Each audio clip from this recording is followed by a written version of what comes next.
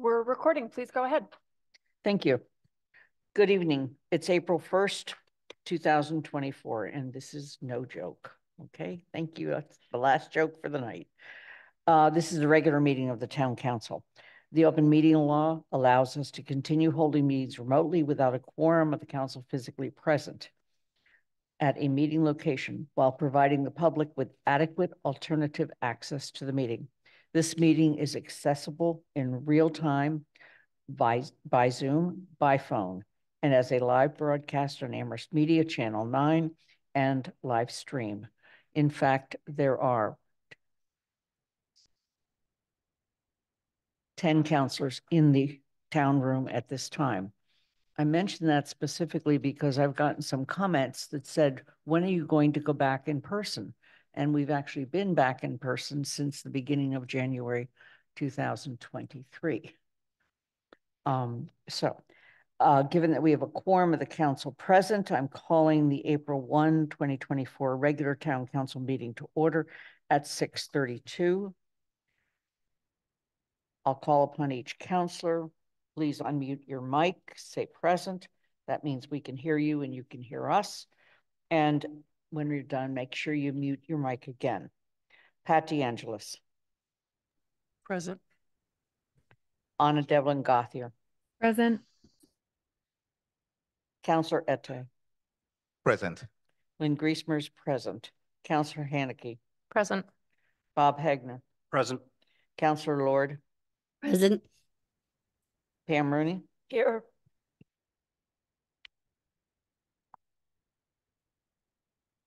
Councillor Ryan. Present. Kathy Shain. I'm here. Andy Steinberg. Present. Jennifer Taub. Present. And Councillor Walker. Here. We are all present this evening. Um, there is no chat room for the meeting. If you have technical issues, please let Athena and me know. To make a comment, use the raised hand button. If technical difficulties arise as a result of utilizing technology, Athena and I will decide how to address the situation, including the possibility of having to suspend the meeting until we get the technology working again. Um, there will be a gen one general public comment period at this meeting immediately following the announcements. The order of the agenda is the same as posted. Uh, I want to call attention to three meetings coming up. April 8th, again, one week from today, we have a regular town council meeting. April 25th, which is a Monday, at 6.30, we will have a public hearing on the regional school budget. That will be virtual. On April 29th, if needed, we will have a special town council meeting.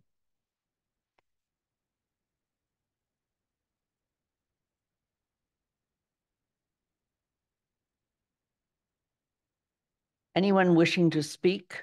We're getting ready for general public comment. I'm going to wait for the audience to enter.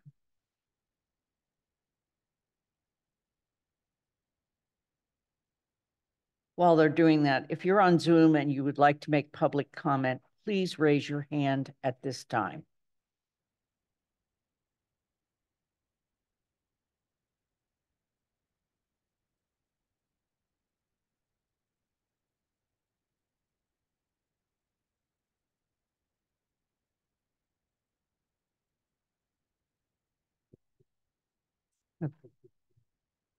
I will, not, not to worry. Anyone wishing to speak who is in the town room, if you have not signed up, please do so with Athena O'Keefe at this time.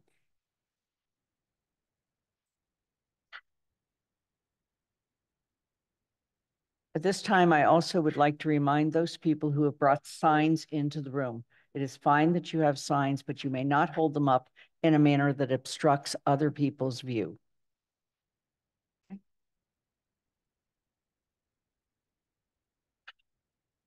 We're waiting for people to finish signing up for public comment for those of you that are not in the room.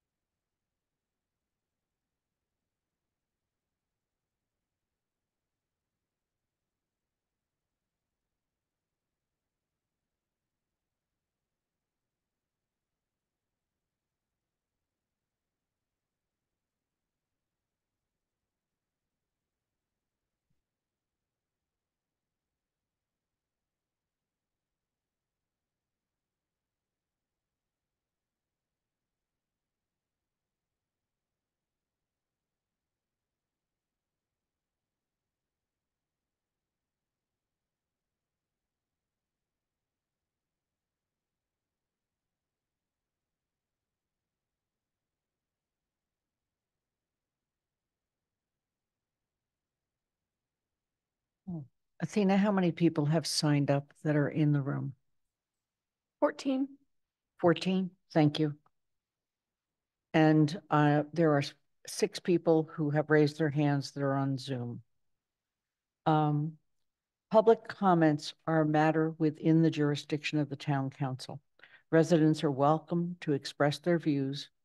In this case, we're going to go for up to two minutes. The council will not engage in a dialogue or comment on a matter raised during general public comment. Public comments are not reflective of the opinions of the town council. The First Amendment broadly protects individual rights to address the government, to speak and to express themselves, including their rights to say hateful and unfortunately offensive things. I am generally unable to shut those commenters down under the First Amendment to the US Constitution unless their level of speech falls within an ex- exception articulated by the courts, such as fighting words, true threats to a particular individual, harassment of a particular individual, or incitement of eminent lawless activity. If a question exists as to whether a particular speaker is engaging in unprotected speech, I must defer to the principles of freedom of speech.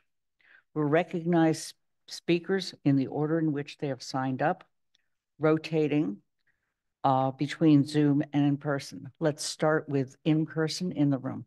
Did you say two minutes or three minutes? Two. Two. Thank you. First is Deb Leonard. Please come up.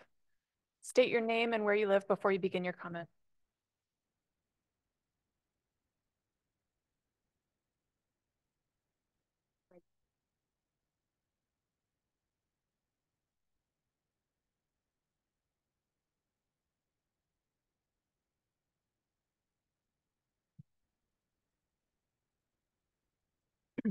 Hi, uh, my name is Deb Leonard. I'm a resident of Amherst. Like to make it clear that I'm speaking tonight to share my own personal thoughts. I do not speak to represent any other committee or um, group of people I I'm part of. So um, I'm I'm just gonna really try to stick to I statements. Um, and I'm, I'm just looking for the opportunity to make informed decisions about the, uh, the policies and the budget that I'm facing as a voting member. So, um, I don't, it's my third month on the job and I just have more questions than answers. Um, the, the, the budget that, um,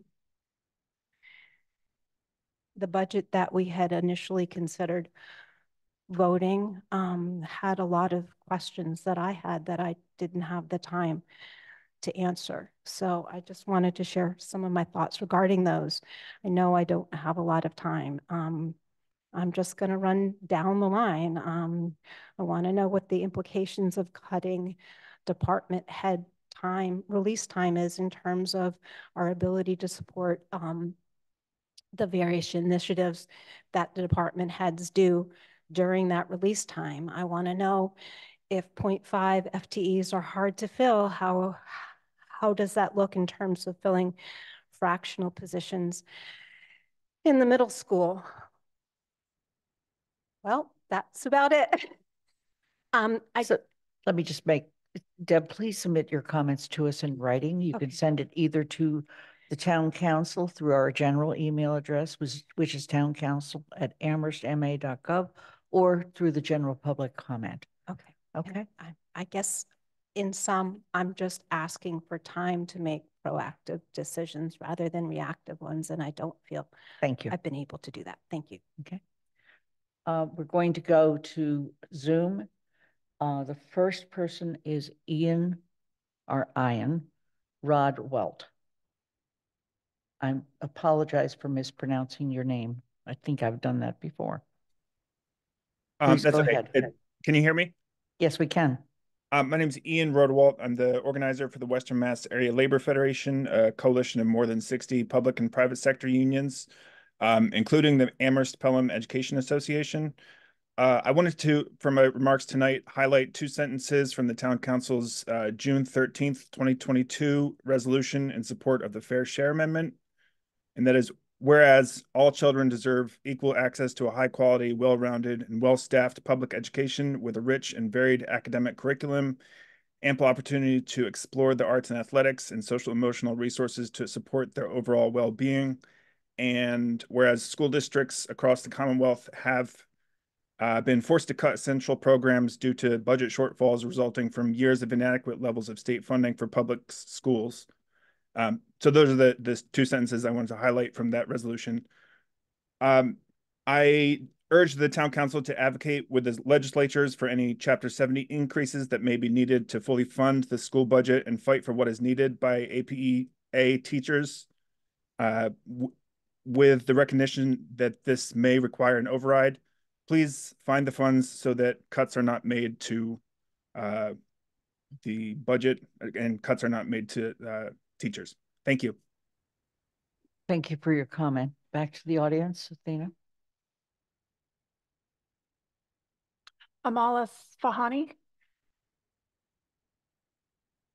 Please state your name and where you live before you begin your comment. Thank you. Um, yes, hello. Uh, my name is uh, Ahmad Esfahani. I actually live in Greenfield. Uh, I'll be very brief. Uh, I'm here mainly for the minutes uh, to inform the town of uh, Amherst that I'm seeking nomination signatures to run in the upcoming primary for District 2 for the congressional congressional election as a Republican. And I just wanted to notify the town and it being the minutes. That's okay. Thank you. Thank you for your comments. Going back to um, Zoom, uh, Meg Gage, please enter the room, state your name and where you live. Hi, everyone. This is Meg Gage. I live at 208 Montague Road in North Amherst. Um, my comments are a little unusual now that I'm hearing what this meeting is about, but I'm here to uh, support the CPA proposal for the Mill River History Trail project. Um, it's incredibly exciting community organizing project. We made really good use of the first CPA grant that we got two years ago, $12,900, and a 200 page report um, covering the four initial historical sites, the two Roberts Mills, the one uh, just west and one just east of the Francis Bridge, the Cushman Clam Club, which was a men's club that had a lot of exciting family dramas, we found out, and the Mill uh, Canal that went from, it goes along the whole uh, north side of the park. There was a huge amount of industry that's gone on in North Amherst, but there was also a lot of indigenous activity. And we've discovered that um, an indigenous, probably Nipmuc Trail, a major trading trail went right along pretty much where the river is. And we're reaching out to people from that um, community to help with this project. The current proposal is stage two, which will look at 15 additional sites. Um, and it will also launch greater outreach to the broader community website development and ad addition, as I said, outreach to targeted um, constituencies like high school students and so on. Some of the aspects of this stage are not sponsored by the historic preservation guidelines of the CPA, and to that, to support those activities like website design and community organizing, we've, we're doing additional fundraising. We've raised $10,000, of which 5,000 is a match. And toward that, we've raised a thousand. So that additional 15,000 will help us um, with those activities. If anybody, anybody should be interested, let me know. Um, and also, if you'd like a copy of the report of the first research, I can email you the link. most of these sites are on conservation land and we're working really closely with the conservation staff and actually have invited them to appoint someone to join our planning committee. Um, I'm going to skip some of what I had here. Sites not on the conservation land include the North Amherst Library, where there used to be the where the addition was just built. There used to be a blacksmith, and uh, Catherine Stryker noticed as they were digging the foundation, these horseshoes were coming up out of the dirt, and she pulled them out. And through an agreement with the town, and Wright Builders. They've been saved and we're hoping to have an exhibit. My time is just about up. Um, there's a whole bunch of other sites, the factory housing on Thank- Summer Street and so on. And Thank you, Meg.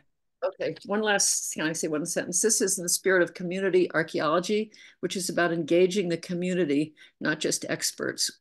Thank you. Better at preserving historical things than experts in government. Thank you. Bye, thank Going you. back to the audience. Tom Irwin?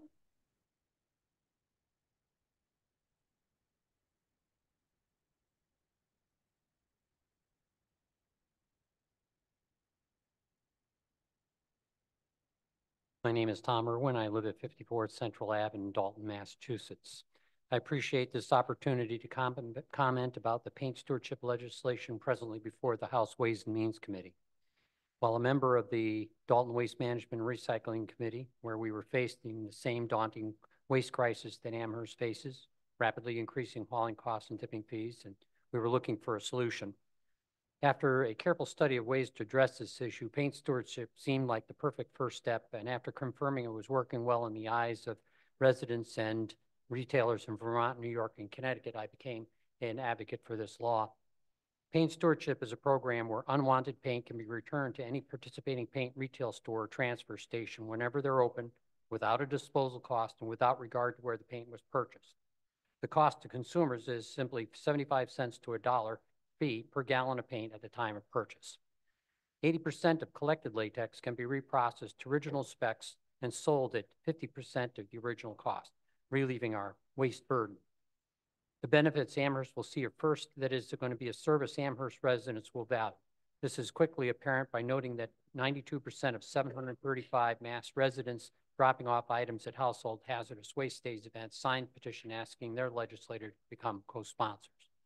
This suggests that 92% of Amherst residents with unwanted paint, and likely there are many, would support this bill. And second, it will present no cost to municipalities and will decrease household hazardous waste day costs. Although 28 reps and 12 senators, including Representative Domb and Senator Co- Comerford, sponsor or co-sponsor this bill, significant municipal support through resolutions is critical to compel serious consideration by the Ways and Means Committee to take this matter up, view it favorably, and send it to the floor of the legislature for a vote. Hence, I respectfully request the Amherst Town Council put paint stewardship on an upcoming agenda to make possible adding their valued endorsement of paint stewardship through passing a supportive resolution. Thank you Thank for your comments. You all have it. Thank you. Uh, we're going back to Zoom. Tony Cunningham, please enter the room, state your name and where you live.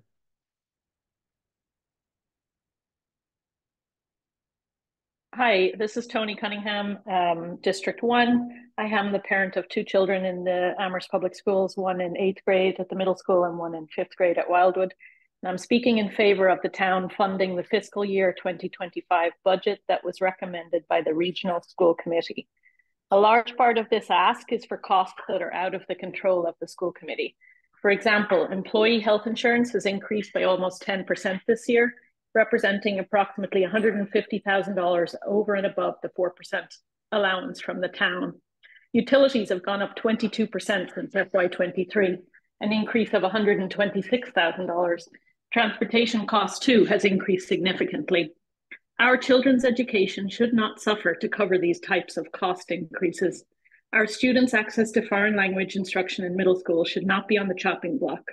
Restorative justice programs should be preserved. Many of the proposed cuts would likely result in further enrollment decline in our school district, further exasperating budget challenges.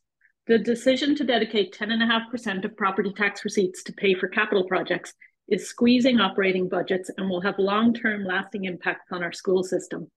I would also note that the amount of additional funding being requested by the regional schools is similar to the amount you agreed to pay in interest on the temporary borrowings, the bond anticipation notes, to front the T Jones Library share of the expansion project over and above the town share of the project. Please find the funds to cover these costs so we do not have to lose teachers to pay for it. We cannot afford to lose more students to charter and private schools. We need to remain competitive. Thank you. Thank you for your comments. Uh, next, Athena. Amber Cano Martin?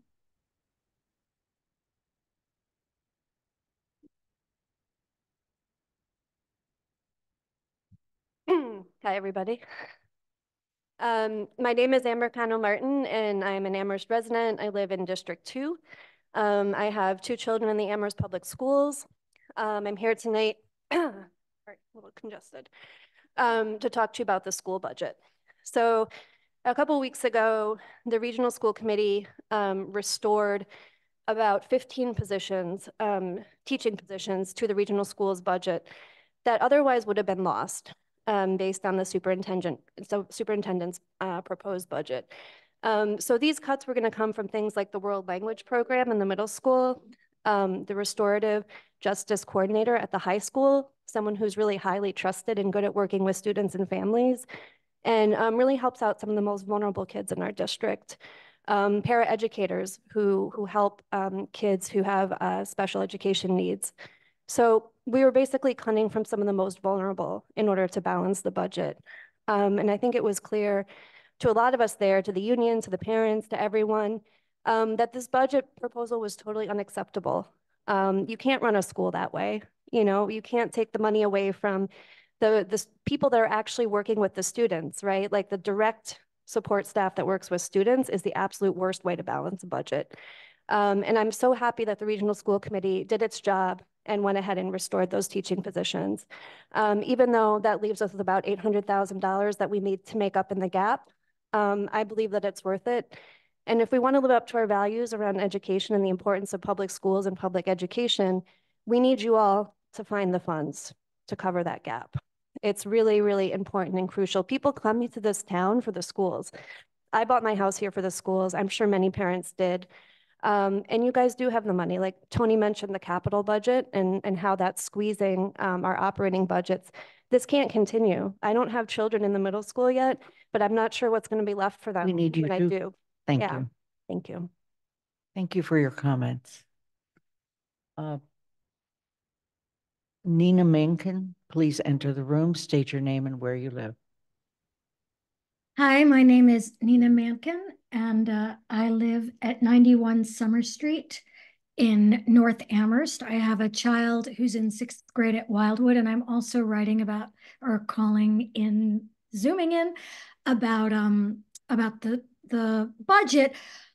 Our family has lived in Amherst for nearly six decades, and in that time, we've witnessed our school district go from one of the best in the state to its current state as average in the state, uh, a little above average. And I'm deeply grateful for all of your work. I know how hard it is to do this job. Um, most of you are volunteers and those in town who are also who are working in a paid capacity have to balance budgets. I understand this, but I I question um, the current ethos that I see in our community and that I also see in our country that thinks that average is acceptable um, and average is less and less impressive. And when I say that, I very much hope I'm not heard as talking about privileged people, but about all of our, our, our students, that excellence must be um, exhibited on all levels of our education system, and that that is our, uh, not only our, our value system, but our highest goal. So above all, I'm asking you not to accept the status quo um, I, and to move heaven and earth to show our children that we hold to a value of giving them everything that we can. Um, and I also ask you to look at the savings you're going to see, we're going to see from these new schools um, in ways that other people have talked about the costs costing us now and to bring some of those savings forward by tapping into our reserve funds. Thank you so much for all your time. Oh, Thank you for your comments, Nina. Back to the room. Allegra Clark.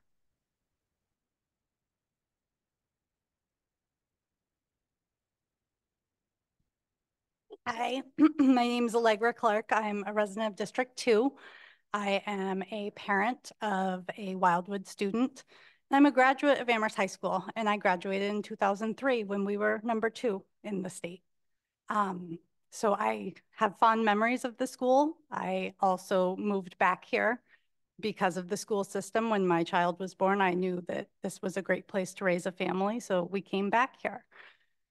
Um, so I, I think this is the first time I've been in front of the town council asking to approve the budget that the regional school committee is putting forward to you because it's one that does not include devastating cuts. It in fact restores the cuts that were proposed.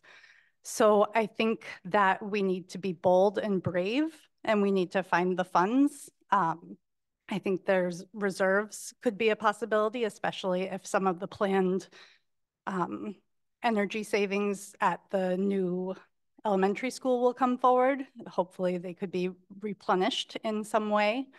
Um, I know there are ARPA funds and there was a presentation at the last town council meeting about how they are possibly going to be used, but I think that in terms of child mental health, that is a big byproduct of the pandemic.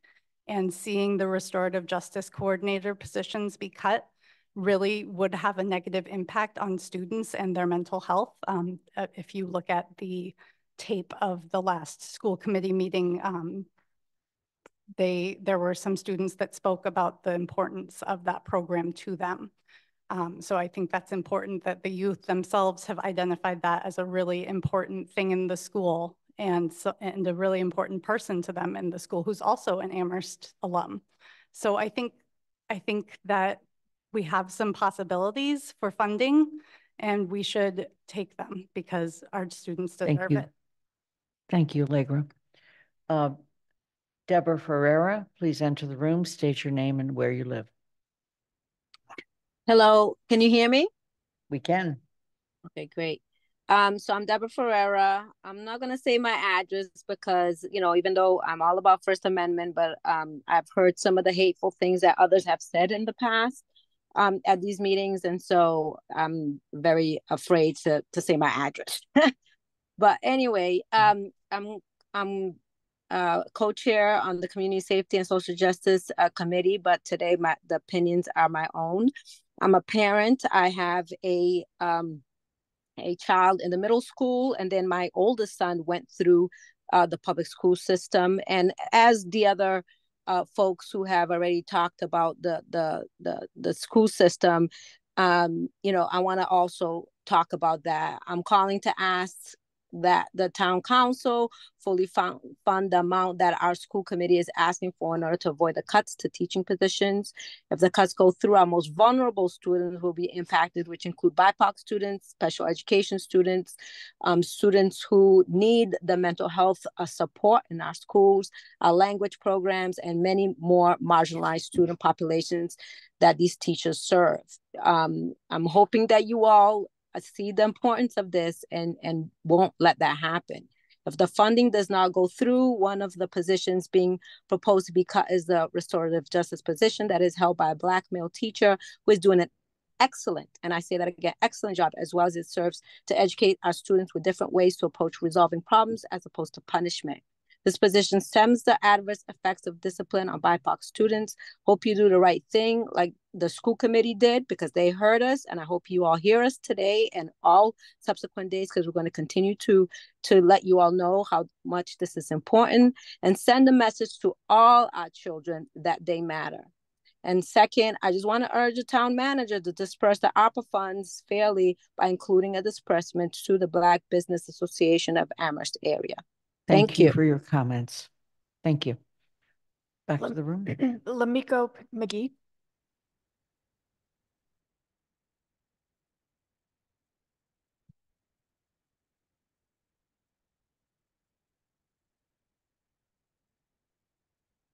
Good evening. I'm here to support the uh, Regional School Committee and um, requesting that you um, put the money back into the school budget.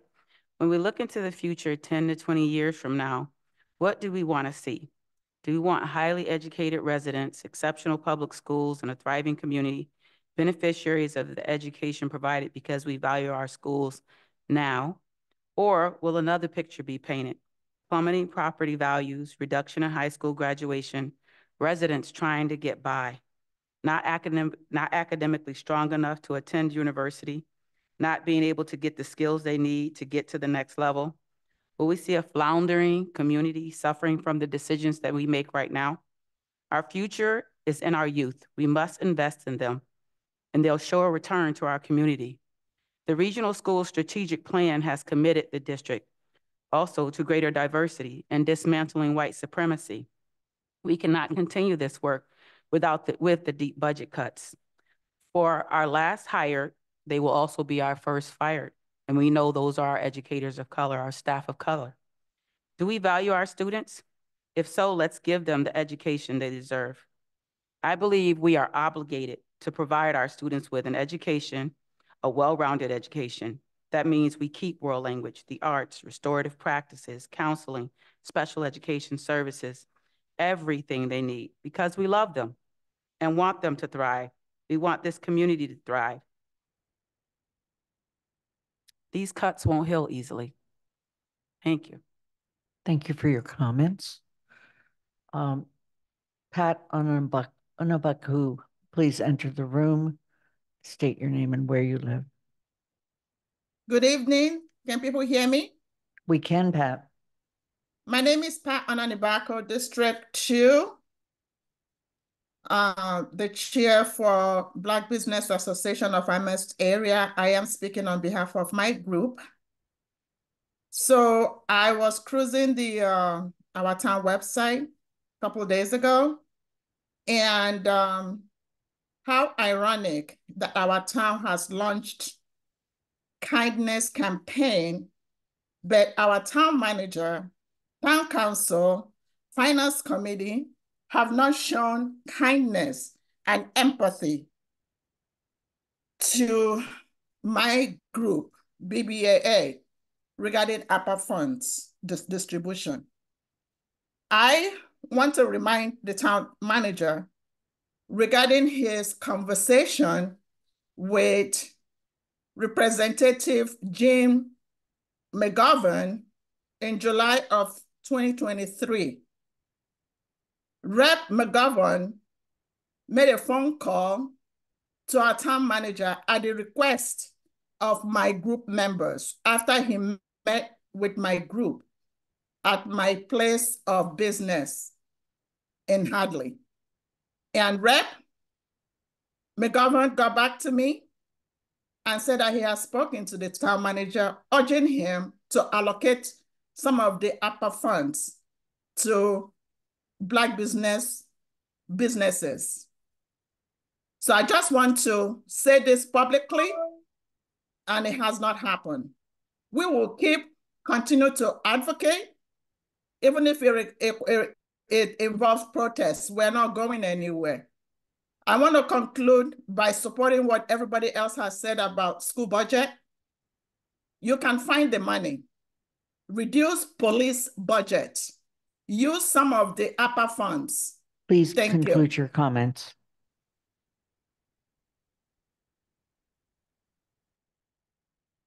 Ella Stalker.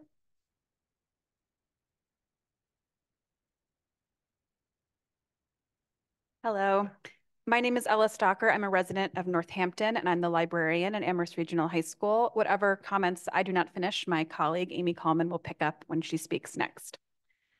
Last month, the department heads, of which I am one, at Amherst Regional High School were asked to speak to the Regional School Committee about how budget cuts would impact current and future students at the high school. We are grateful for the advocacy of our school committee in passing a higher budget that would prevent these initially proposed cuts. But we want to make sure that you are aware of how those cuts would have impacted us or will impact us if you do not find the appropriate funds for our schools. These cuts impact our individual departments in specific ways, but all of our work is fundamentally interconnected. Collective cuts across departments diminish the culture and spirit of the school in ways that are hard to quantify, but no less essential. We know as experienced educators that these changes put students who struggle at greater risk, imperil our ability to provide enrichments for our most academically advanced students, and widen the cracks for students who are on the bubble by removing effective interventions.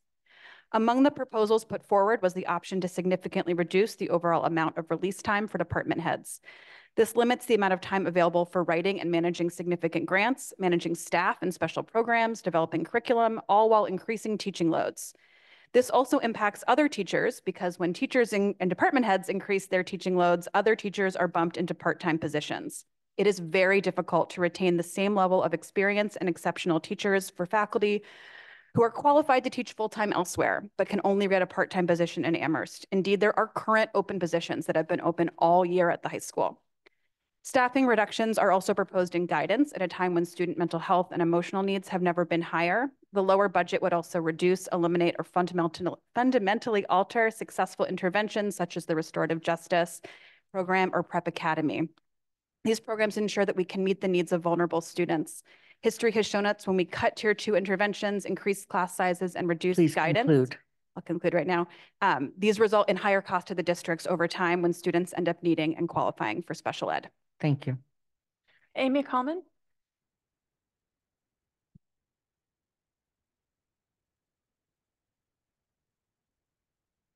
Good evening. My name is Amy Kalman. I'm a speech language pathologist at the high school. I'm a parent of an alum of Amherst High and also a 10th grader. Um, and I forget if I mentioned, I live in Amherst. I've lived here for many years. Um, so let's begin. All departments are impacted by proposed cuts of two FTE positions in special education. I'm a speech language pathologist, so those are my students and my colleagues, as well as paraeducator positions, particularly through the reduction or elimination of COTUC courses. These courses pair a special education teacher with a general education teacher, enabling more students to access general education classes and inclusion. The loss of these courses, when combined with larger class sizes, will reduce the accessibility and availability of both introductory and advanced courses. There are also wholesale cuts to programs at the middle school that will dramatically imp impact how courses are sequenced and taught at the high school, most especially in performing arts, dance, and world language through the gutting of the middle school language and dance programs.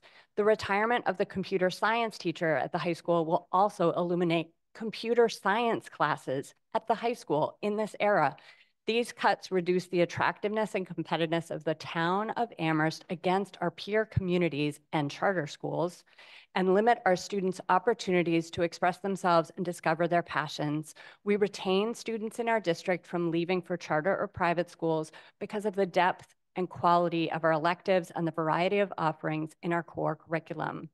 The cuts across elective departments in languages, core subject areas, in guidance or in interventions, in co-teaching, in departmental leadership, all these are devastating on their own. Collectively, they are catastrophic. We love our students, our colleagues, and the communities we serve.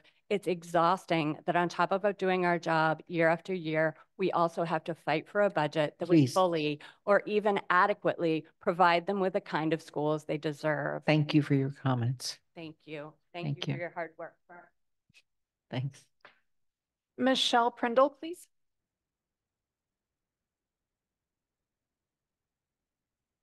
Good evening. I'm a resident of South Amherst. I have three children in the public schools.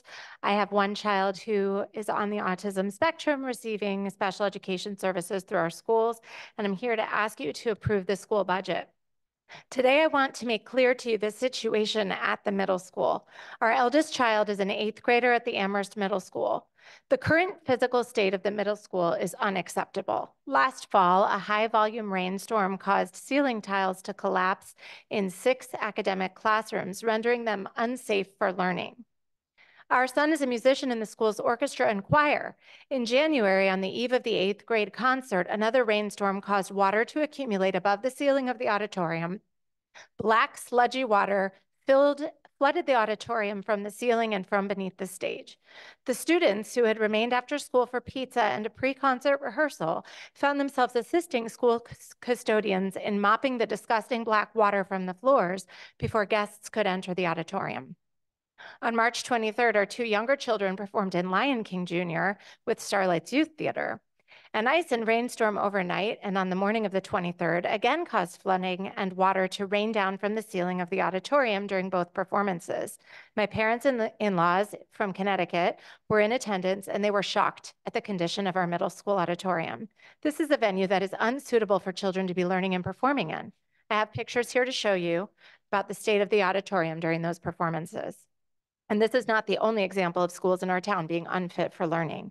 In a town such as Amherst, which pledges to value the education, value education, equity, and diversity, it is an absolute embarrassment that our schools are in such failing condition, and yet funding costs um, are continually proposed funding cuts. I urge you to find the money to fully fund the town and the regional district school budget. It is also your responsibility to engage UMass and Amherst College to make real and Thank you meaningful for your financial contributions to this town. Our students deserve better, and it is your job to do better for them. Thank you Thank- for your time. This is Thank just a you. picture, so you can see what it looked like while Thank you. people were visiting. Next is And this Kathleen the Mitchell. hole Next to the lights that water was pouring down from in the auditorium at the middle school. Thank you. Your time is up. Kathleen Mitchell.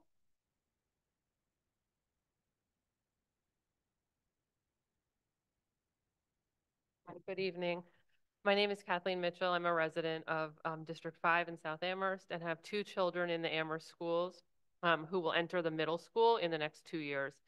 I'm here tonight to ask the town council to prioritize our children by fully funding the regional schools budget, and I want to speak specifically about two programs at ARMS. If forced to make cuts to the world language program, middle school students would get insufficient hours of instruction to move beyond the beginner level and would have to start their chosen language all over again in ninth grade. There would be little chance of reaching the AP level in a world language. This would be an unfortunate outcome for a community that has demonstrated its belief in the value of language acquisition and diversity by supporting a bilingual program at the elementary level. If the regional school's budget is not fully funded, the restorative justice program would be eliminated at a time when we know that adolescents are struggling with social and emotional skills and need this type of support. There has been so much talk in the community about how crucial it is that there is healing at ARMS and that the culture of the school improves, but this will not happen by magic. As a community, we either care about ARMS or we don't. I think that if you choose to fund this budget, you will find a significant amount of community support and many families and individuals willing to partner with you to roll up their sleeves and advocate for funding and think creatively about solving this ongoing problem. I have often heard members of this council talk about the importance of families in Amherst, of ensuring that our housing and zoning makes it possible for families to live here. But families also need thriving public schools, not just at the elementary level in the form of a new building, but also in the form of an adequately staffed, high quality middle and high school. Many of you in various contexts have spoken about the value you place on our public schools. You have mentioned how your own families chose Amherst or, or because of the quality of the schools or how your own children thrive during their education here. All we are asking is that our children have the same opportunity. Thank you. Thank you for your comments. Um, I think it's May Vicente. I'm sorry, I can't read your handwriting. Is it May? Mari, thank you.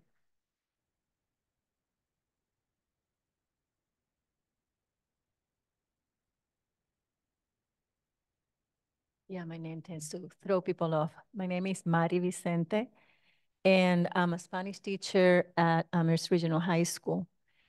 Um, and I want to tell you that the cuts in the language curriculum that were instituted at the middle school about 10 years ago cost us a little more than half a year in academic achievement for our students. On top of that, the pandemic cost close to a year, another year, um, in academic achievement, and the block schedule is absolutely horrible for language teaching. So the students that I have now in intermediate Spanish, Spanish 3, are about a year and a, and a bit behind of where they used to be a few years ago. Um, so it's become really difficult to prepare students for the advanced placement in Spanish, which is one of the crowning jewels of the high school. Um, and the current proposed cuts will even further delay um, our students' achievements in world language. These cuts translate into having the students de facto start their language careers at the high school instead of at the middle school. Um, and that is also on top of uh, we being the only country that starts language teaching as late as 12 years old, just in time when the brain, the part of the brain that deals with language starts to shrink. It's still possible, but it's not as but what most countries do. Um, so as a result of this extra, even further cuts, kids would only have four years of their chosen language.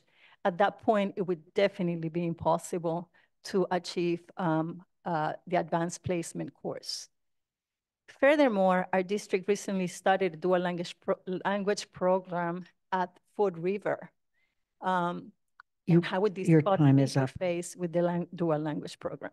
Thank you. Please fund the word language. Thank you. Olivia Blake.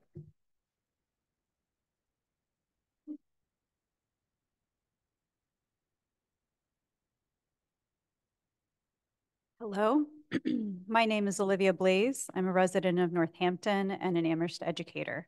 I teach Latin at the middle and one class at the high school, and I'm here today to ask you to please support our school committee's ask and fully fund their budget.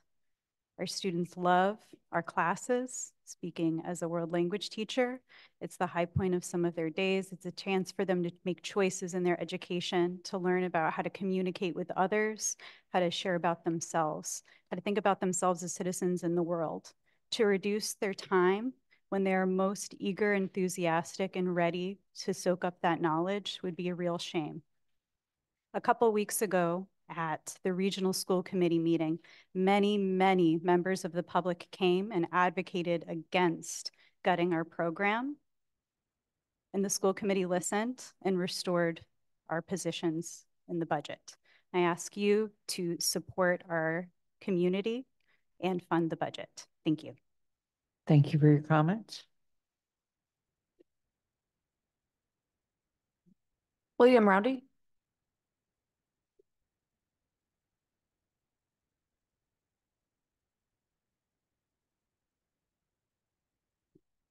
Hello, everybody. Um, my name is William Roundy. I'm the department head of world languages at the high school. Um, my colleagues have made great comments about what we're losing with the budget already, so I'm just going to make a few separate points. Um, the cuts, if we cut deeply, are not just extraneous programs that um, feel like add-ons to some people. For instance, uh, we're deeply cutting the high school science department, um, which is core academics. Um, and even with the budget that the school committee passed, we're cutting pretty deeply, um, almost to the bone. We're losing central office positions, custodial positions, and other things that aren't directly um, impacting students, but are in impacting our building um, pretty deeply. Um, so what the school committee is asking for is, I think, what we should do. Um, I don't think they are asking too much for a strong opening bargaining bargaining position or anything. Um, it's already pretty tough. Um, the mood's pretty bad um, in the schools right now. Um, when we started talking about these budget cuts, um, I was pretty devastated. And I'm a normally like pretty happy guy, but I'd have to say I haven't been happy in about a month. Um, and people don't show up in numbers like this unless you're really hitting a breaking point of some kind. Um, to get this many people politically activated is really a sign that something is wrong. Um, and I'd like you to really seriously consider what we're asking for. Thanks. Thank you for your comments. Georgia Malcolm.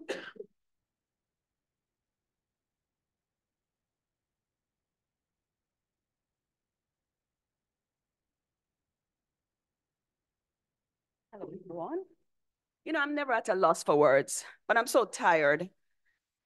I just put my name down because I really wanted to acknowledge the school committee for advocating and putting the money back in. I mean, I really, you know, I was saying to Mika back there, I'm like, I'm gonna say the opposite. Don't approve it. Because what is it, what is it gonna mean for you guys? You know, unfortunately, this is statistics, right? The demographics of the schools are changing. It's almost, I mean, in terms of when you combine all the people of color, it's probably almost pretty close to white kids. And I think without you guys even knowing it, it's just some kind of, you know, it's kind of racism, this kind of white supremacy. And I'm not trying to insult anybody, but it's just ingrained because I, I go through it with my colleagues in the school system.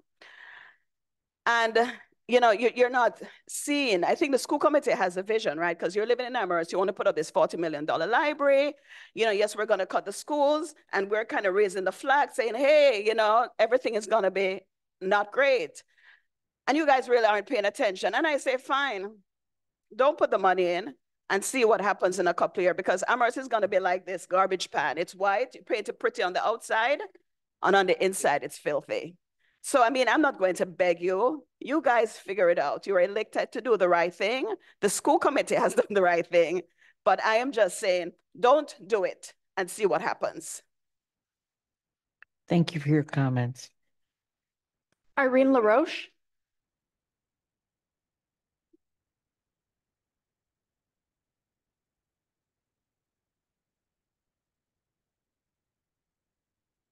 Hi, Irene LaRoche. I've been teaching at Amherst Middle School since 2003.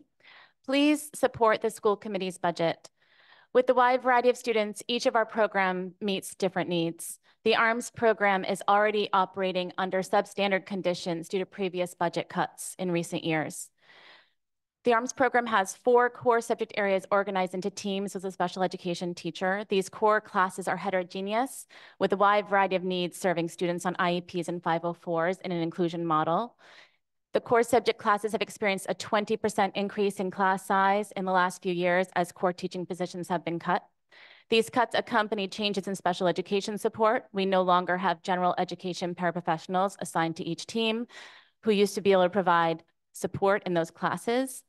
One result uh, is that special education students who need support are moved then to one core class with one special ed teacher, which tips the balance of that class to create de facto tracking.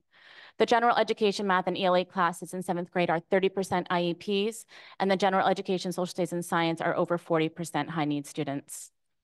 Each part of our school program is integral in having a high quality education and meets the needs of complex learners, English language arts, um, ELL, counseling, restorative justice, world language, exploratories, all of them are essential. A student with a reduced experience in exploratory will struggle to engage in required core classes. A student in an exploratory class who might have a conflict with another student may not be able to capably resolve that conflict without a restorative justice coordinator. A student who has reduced world language classes will have a harder time accepting their role as a global citizen, which is a hallmark of our social studies curriculum. The connections are limitless. Each part of the program is essential. We help students build the skills and the content they need to understand themselves and their world, a world that is connected, diverse, and interdependent. Please restore the budget that serves the whole child and our community. Thank you. Thank you for your comments. Pat Nieptowski.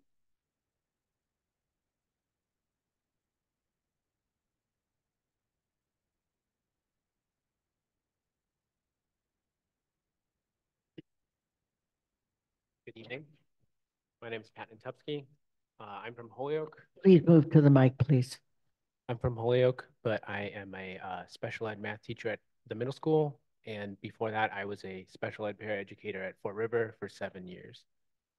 Um, you have heard from much more eloquent uh, and smarter colleagues than I, so I'm going to keep it short. Um, but we are holding it together with duct tape and baling wire at the middle school. Um, you are potentially considering a budget that will put the money back in for schools. I think that's important. Right now, you all have a choice to make because we don't get to decide. Uh, but you can either take from and cut from our most vulnerable students, uh, or you can choose to build them up. Uh, I know it's a hard decision. We're doing a lesson right now on balancing equations, but you all have to find the money somewhere else. Otherwise, the other side of the equation is cut services. And I don't know that we're going to make it if we cut more services. I don't know that they're going to make it if we don't cut more, if we keep cutting services. So, you know, I hope you make the right choice. Um, and thank you for your time. Thank you for joining us. Vince O'Connor.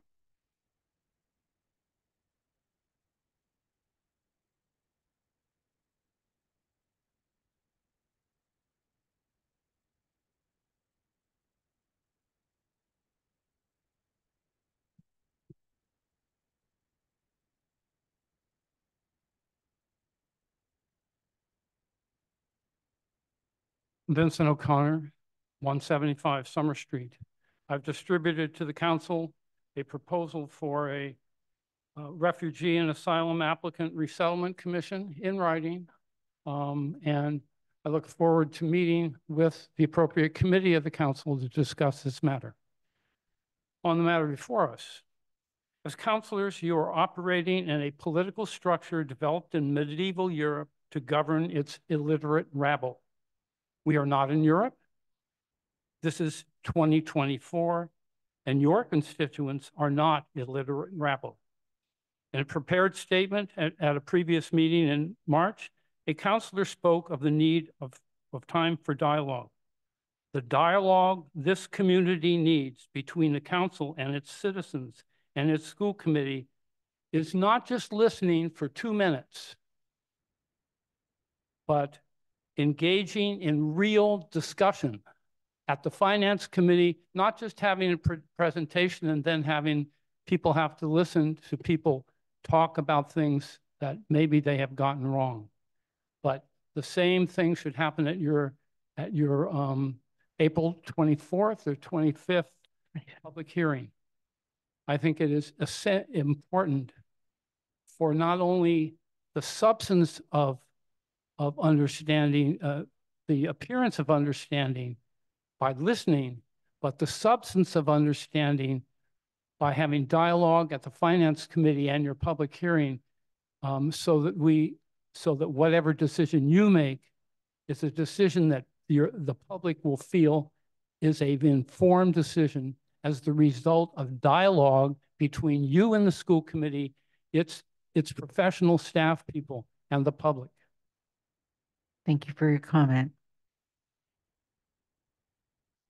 That's everyone on the register. Thank you. That concludes public comment.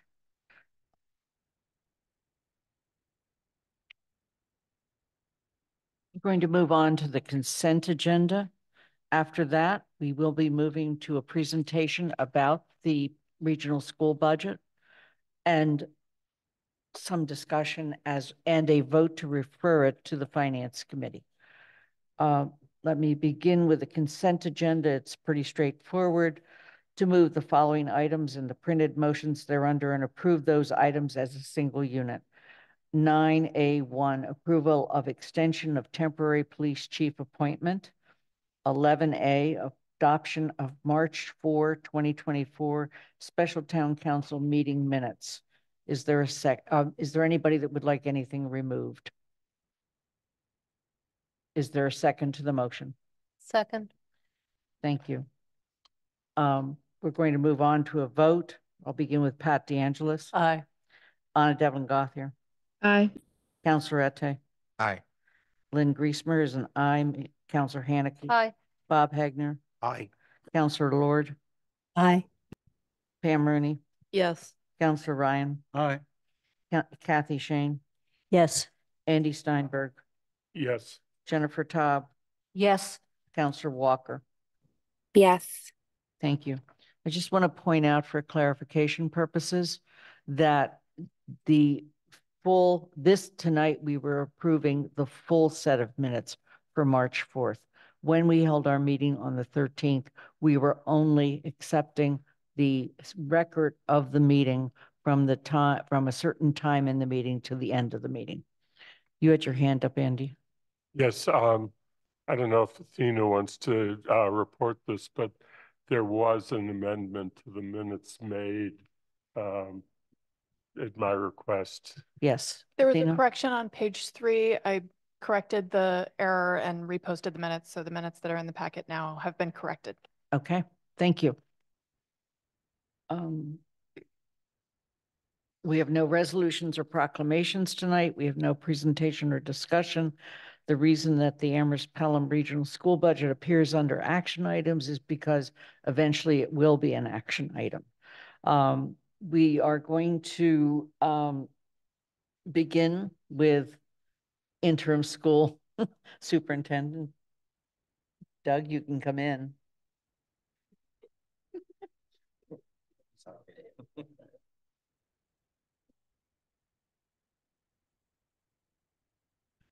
Um,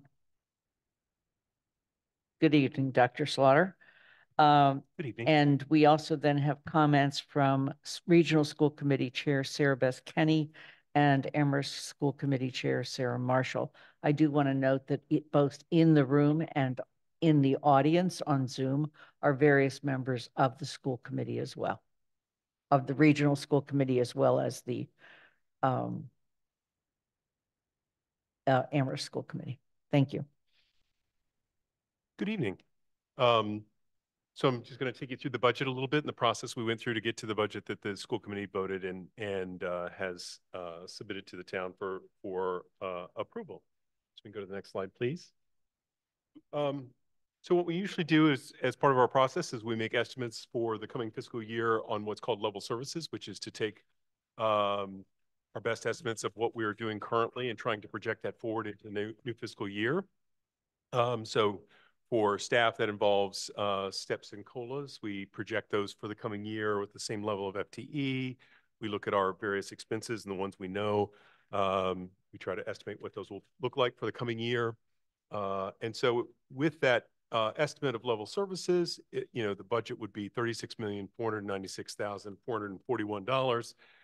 And that utilizes $500,000 in ESSER funds, and it's about 8.29% above the fiscal 24 budget.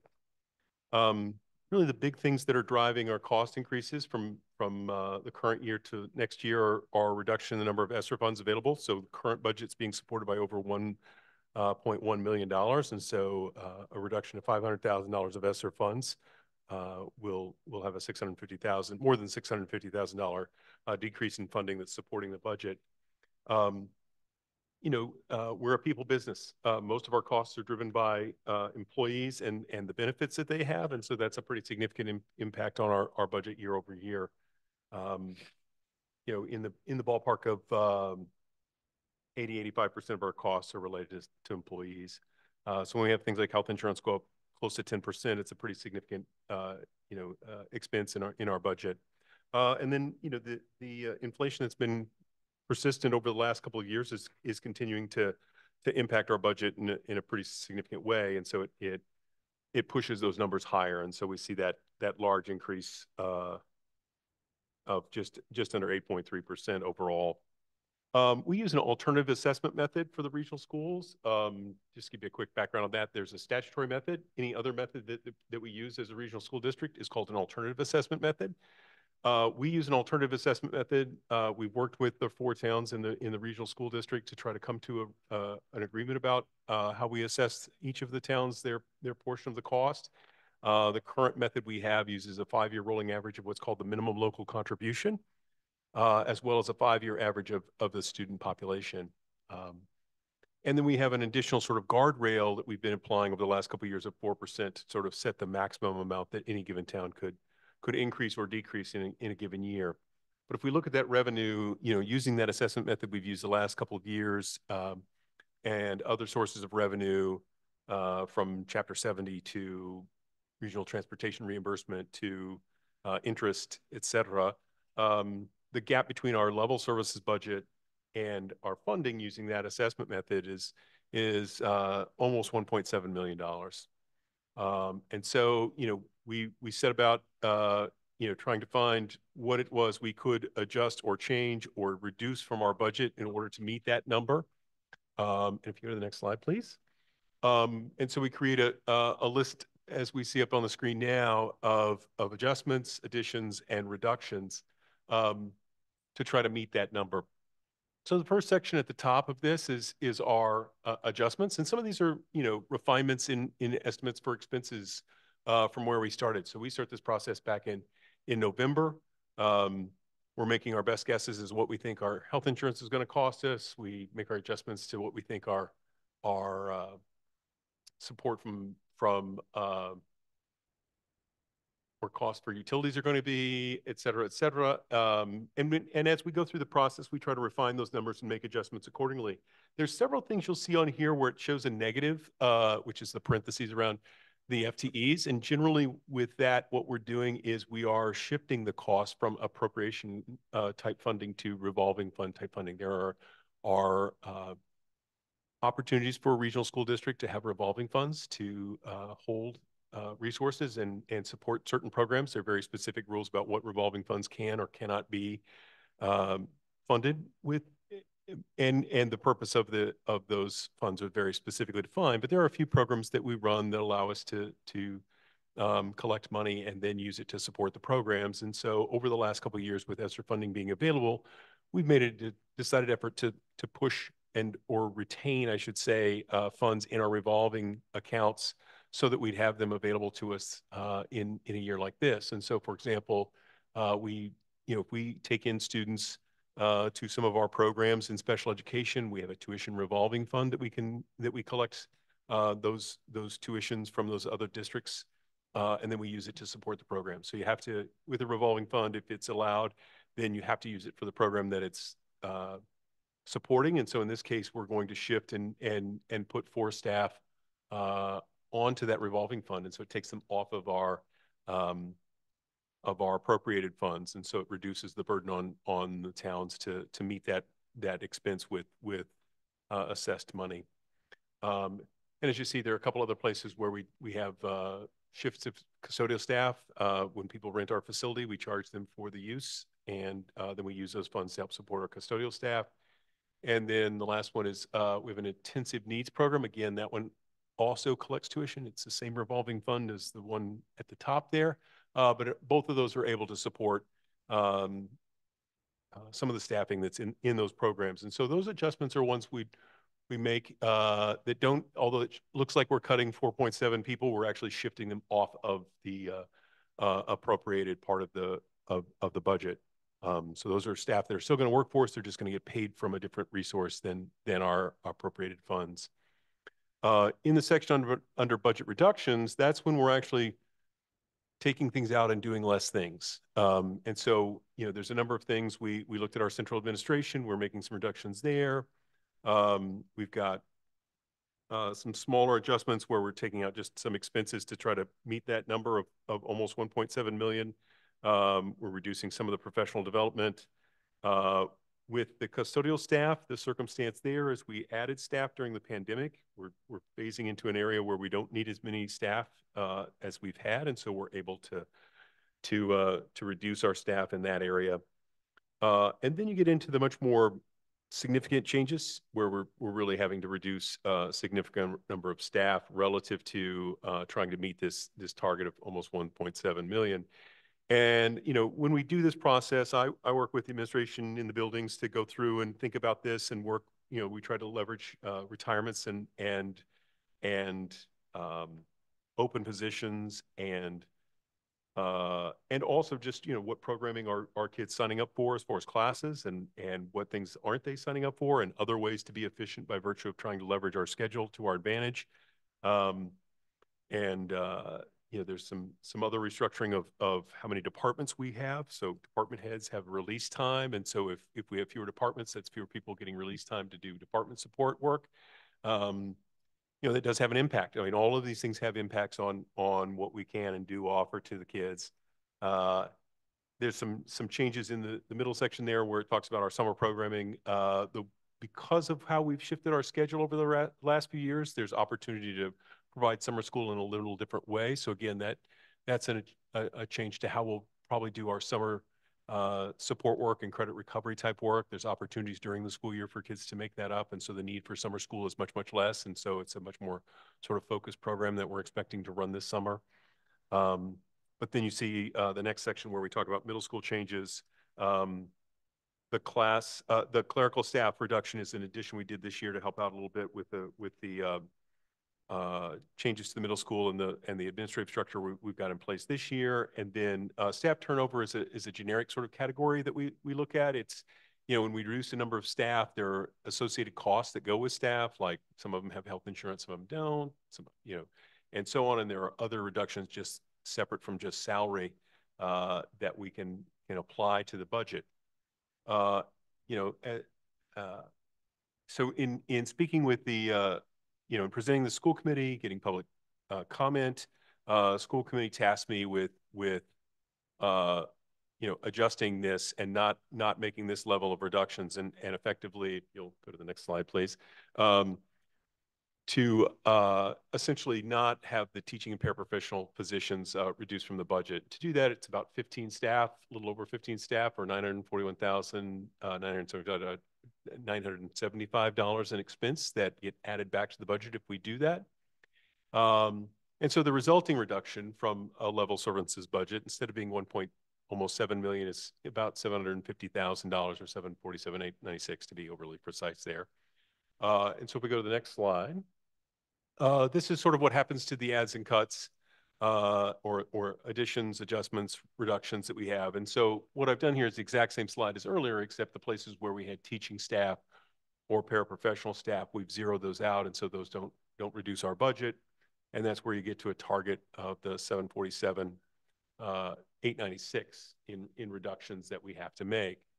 Now, many of these are ones we would do regardless. You know, if we just don't have an expense or we can project that we don't have an expense, uh, like the reduction in our health insurance costs from our original estimate, that sort of thing. Those are actual uh, real changes. We, regardless, we'd want to make that reduction in, in, what we're having in our budget uh, because we just don't, we're not going to incur that, that expense because of the, the reduction in cost from what we were originally projecting. But, but nonetheless, there's still pretty significant reductions in, in other areas within the budget, even with this modification from, from a, from a uh, $1.7 million in cuts to $750,000 worth of cuts. And so if we go to the next slide, please. So what you see on this slide um, is, is a uh, summarized, uh, you know, appropriation budget. What we've done in the, in the, uh, in the, not the shaded column all the way to the far right, but in the, the two columns uh, just preceding that, uh, we have the proposed budget from fiscal 25. That's, that's where we started uh, before we started doing, you know, sort of additions, reductions, et cetera.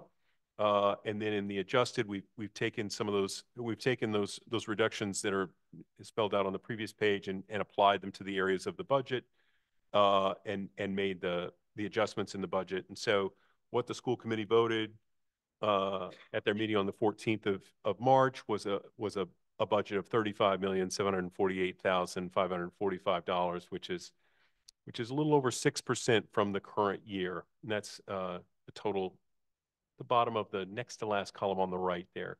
Um, and that's just a little over $2 million of increase in, in, in cost from the current fiscal year and its estimates. Um, so the next question is sort of, well, how do we pay for that? What are our resources? Uh, what, what did we assume or what can we assume relative to that? Uh, go to the next slide, please. And so on this slide, uh, this this sort of lays out what we think our our our uh, revenues look like for the coming year. Um, so if you look at the blue columns in particular, so the the sort of middle two columns that have a highlight to them, uh, in the in the I have to say the header on that says 100% stat, stat is not truly 100% statutory method. That's the it's vestigial from when we were transitioning to the method that we're using currently. But but more importantly, what you see there is is a level services budget, which is the 36 million 496 441, which is the same one we started with the beginning of the presentation. Currently, we're projecting our Chapter 70 to be uh, $9,793,627. Um, that increase of 0.78% from the current year uh, I will say is actually um, less than that in some respects. So the chapter 70 number that's shown in the first column there that says uh, fiscal 24 uh, is what we were projecting and what we voted. What actually happened when the when the fiscal 24 budget was finalized at the state level, our chapter 70 number was a little bit higher than that. Uh, and so the actual increase, you know, over the actual revenue that we'll receive this year in chapter 70 is less than 0.78%. But but the thing to keep in mind is we've got a $36 million budget and we're trying to fund a pretty big chunk of it with Chapter 70. And when it goes up by less than 1%, that puts a lot of pressure on our assessment methods and our other, other sources of revenue to try to cover those costs. Um, so as we look down through the, the remainder of those revenue sources, we get a transportation reimbursement because we're a regional school district. Uh, that has been, uh, over the last couple of years strongly, uh, they've been improving the, the reimbursement rate. Um, we think that's going to kind of hold steady for this year. Our current year uh, uh, estimate for that is around the 950,000 mark. Our budgeted number for fiscal 24 was lower than that, but I think our actual um, projected reimbursement for the current year will be closer to 950, and we're going to hold that steady for, for fiscal 25. Um, Medicaid reimbursement, about $120,000. We provide uh, services that are eligible for Medicaid uh, reimbursement. So we do certain OT, PT, speech services that are eligible for Medicaid, and so we apply for that funding and we get that. Um, about 120,000 is a pretty typical amount from one year to the next. It varies. Um, charter reimbursement, that's our estimate of what we think we'll get for our brand new students that are in charter. So when a student goes to a charter charter school, um, there's a there's a reimbursement as you transition to owning that cost. And so uh, with the regional schools, any seventh grader that's going to a charter school is in their first year relative to us. And so we get about $300,000 in, in charter reimbursement. That's our estimate of that.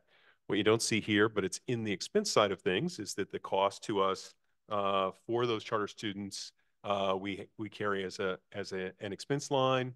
That number's around $2 million, roughly speaking. So, uh, you know, the reimbursement is a transitional funding source from the state to, to ease you into covering that cost, but uh, charter costs are, are pretty significant uh, like out of our, our resources. Um, interest revenue with interest rates being up, uh, and we have you know cash on hand for a variety of reasons, and so uh, thirty-two thousand is kind of in the right neighborhood for what kind of interest we earn in the course of a year. Um, E and D, which is uh, you know the same as sort of reserves or or free cash and and uh, and stabilization for a municipality. Um, we generally budget two hundred eighty thousand as a contingency. We try not to spend that in the course of a fiscal year. We hold that as uh, in case of emergencies type of funding. Um, but we do have uh, additional funds available to us that we we do leverage from from one year to the next, and so we've got six hundred thousand dollars of of that funding budget. And and the way we get E and D is the same way the town gets reserves. In other words, if you are you know when you finish your fiscal year, if you're under budget, that falls into the sort of reserve category. One one difference is that in a regional school district, uh, there's a maximum amount that you can uh, retain in in E and D, and that's five percent of your operating budget. So we have some obligation to to use those resources and not sort of stack them up and, and hold them. Um, so we're supposed to uh, to spend that funding in in a timely way to to uh, support our budgets. And so we try to carry that that uh, from one year to the next and use a little bit each year. And and so when we finish under budget one year, it helps support that E and D for a subsequent year and and it, it helps you know sort of smooth out our, our funding picture a little bit from one year to the next. But the totality of those other sources of funds, besides assessments to the town, it's a little over $12 million. We subtract that from our 36, 496, 441. And so the amount to be assessed to the four towns falls in, in the 24 million, 420, 814. Um, and because of, you know, either no change in those estimates for revenue or small changes in those estimates for revenue, that's why that increase from fiscal 24 to this year is, is 11.62%. So it's a pretty pretty big uh, uh, increase to cover the costs that we're anticipating. And so if we use the assessment method uh, and you know with the five-year rolling average of minimum local contribution and the remainder of that that amount to be assessed based on a five-year rolling average of students, this series of numbers, the 19,706,938 for for the town of Amherst would be the the sort of full uh, assessment you would have to bear in order to, to hold us at level services.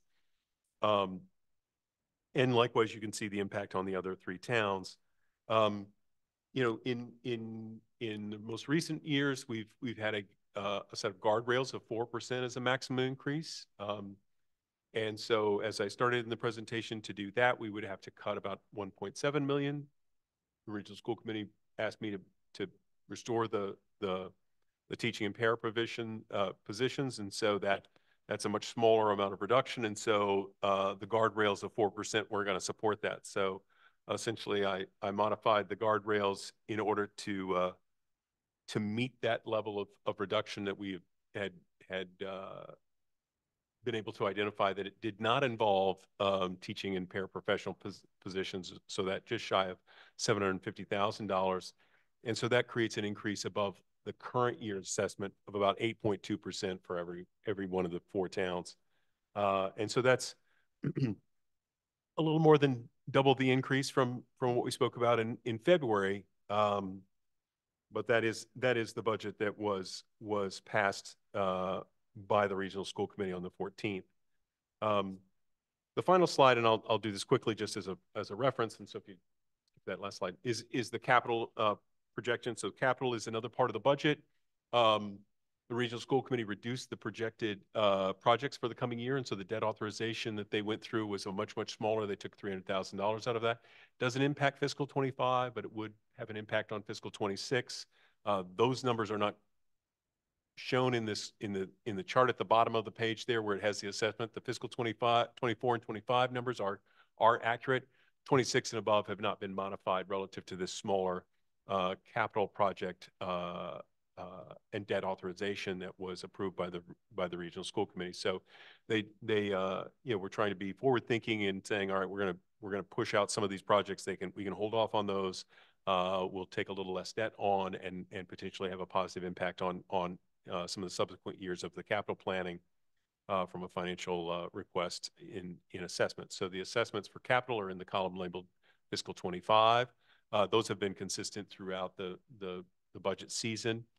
Um, but I um, did want to share those with you. But but the larger conversation is probably much more about the the operating budget and and the assessments there and and the uh, additions, reductions, et cetera that that match with that uh, so I think I'll stop there as I blitz through that really quickly. I'm sorry if I went too quickly and I'm happy to answer any questions anyone has. I, this is very Yeah. familiar to me and so I go through it relatively rapidly and I'm sorry if I've skimmed over something that wasn't familiar to anybody or, or has, uh, provoked some questions. I'm happy to answer anything. So why don't you just stay right where you are? And Sarah Beth, why don't you come up?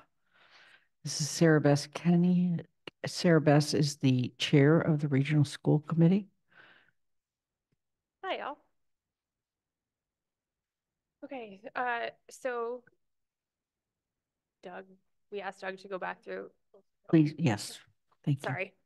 Um, okay, so our original budget that was presented, which we dubbed the Tuesday budget in our meeting for clarity, uh, we reviewed and um, many of the cuts that were proposed were student facing and greatly going to change the student experience um, in in our schools. And as the school committee, our job is to um, approve a budget that you know supports our students the best we can uh, and and honors our district mission, which includes you know high quality education, multicultural, multi-ethnic, and pluralistic societies, and ke- keeping our schools as healthy and robust as we can.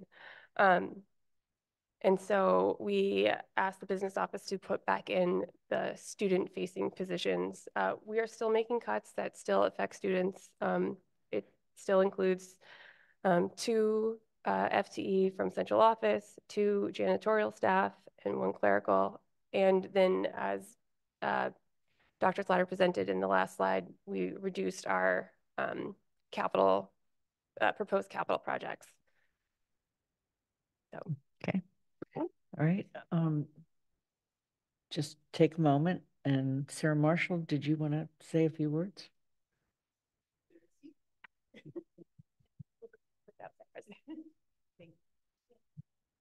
Oh, oh, oh, oh, oh, all right. Thank you. I'm Sarah Marshall, member of the Amherst and Regional School Committees. Um, my role as chair of the Amherst commi uh, School Committee, however, doesn't, I'm just another member of the Regional Committee. Um, all the speakers during the public comment part of this meeting were spot on and very articulate in outlining the damage that might be caused, will be caused, we'll see. We hope will not be caused by the um, cuts that would be needed to um, limit the assessment increases to 4%. But I'll give my written remarks. Education has long been a priority and economic driver for the Amherst area. A significant proportion of the area population lives here specifically because of the educational offerings, not only at the college and university level, but at the elementary and secondary levels as well. Unfortunately, the ability of the regional schools to offer the high-quality programming that so many people demand and that our children surely deserve is threatened by inadequate funding, chiefly at the state level, as Dr. Slaughter just pointed out. And after years of whittling away at programs and staff, at administrators and classes, we were faced this winter with the prospect of devastating cuts amounting to $1.6 million. Cuts that cannot be made without significant changes to student learning and staff responsibilities. We implore you to fund the budget that we have submitted, even though it will require significantly more funding than was offered at the Four Towns meeting. We know it's a big ask, but parents, students, educators, and staff tell us loudly and clearly that a shrinking and mediocre program is unacceptable.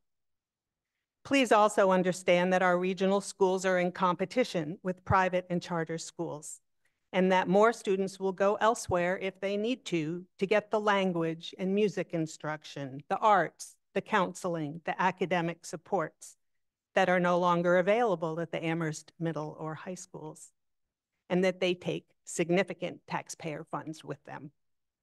Please strengthen and do not weaken our schools. Thank you.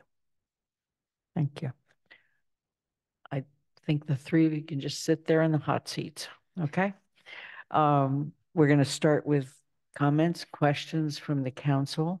I want to remind people that this is just the beginning of the conversation for this council with the regional school budget. We have a hearing scheduled on the 25th at 6:30. It will be totally virtual. It's a meeting of the finance committee that other members of the council may join in. Um, with that, uh, and our vote tonight is to refer the budget to the finance committee, where it will rest until they come back to the council with their recommendation. And then as each of you knows, uh, then it becomes a decision-making process across four municipalities. And that involves three town meetings and our town council. So we're, again, just at the beginning of that process. Um, so with that, Kathy, um, go ahead. I, yeah, I'm just going to focus on two elements that Doug went through quickly. And I know this is more long-term, but I'm also thinking we should be putting pressure on the state. I just did a quick math. If chapter 70 had gone up by 4% rather than less than 1%, it would be another roughly $400,000.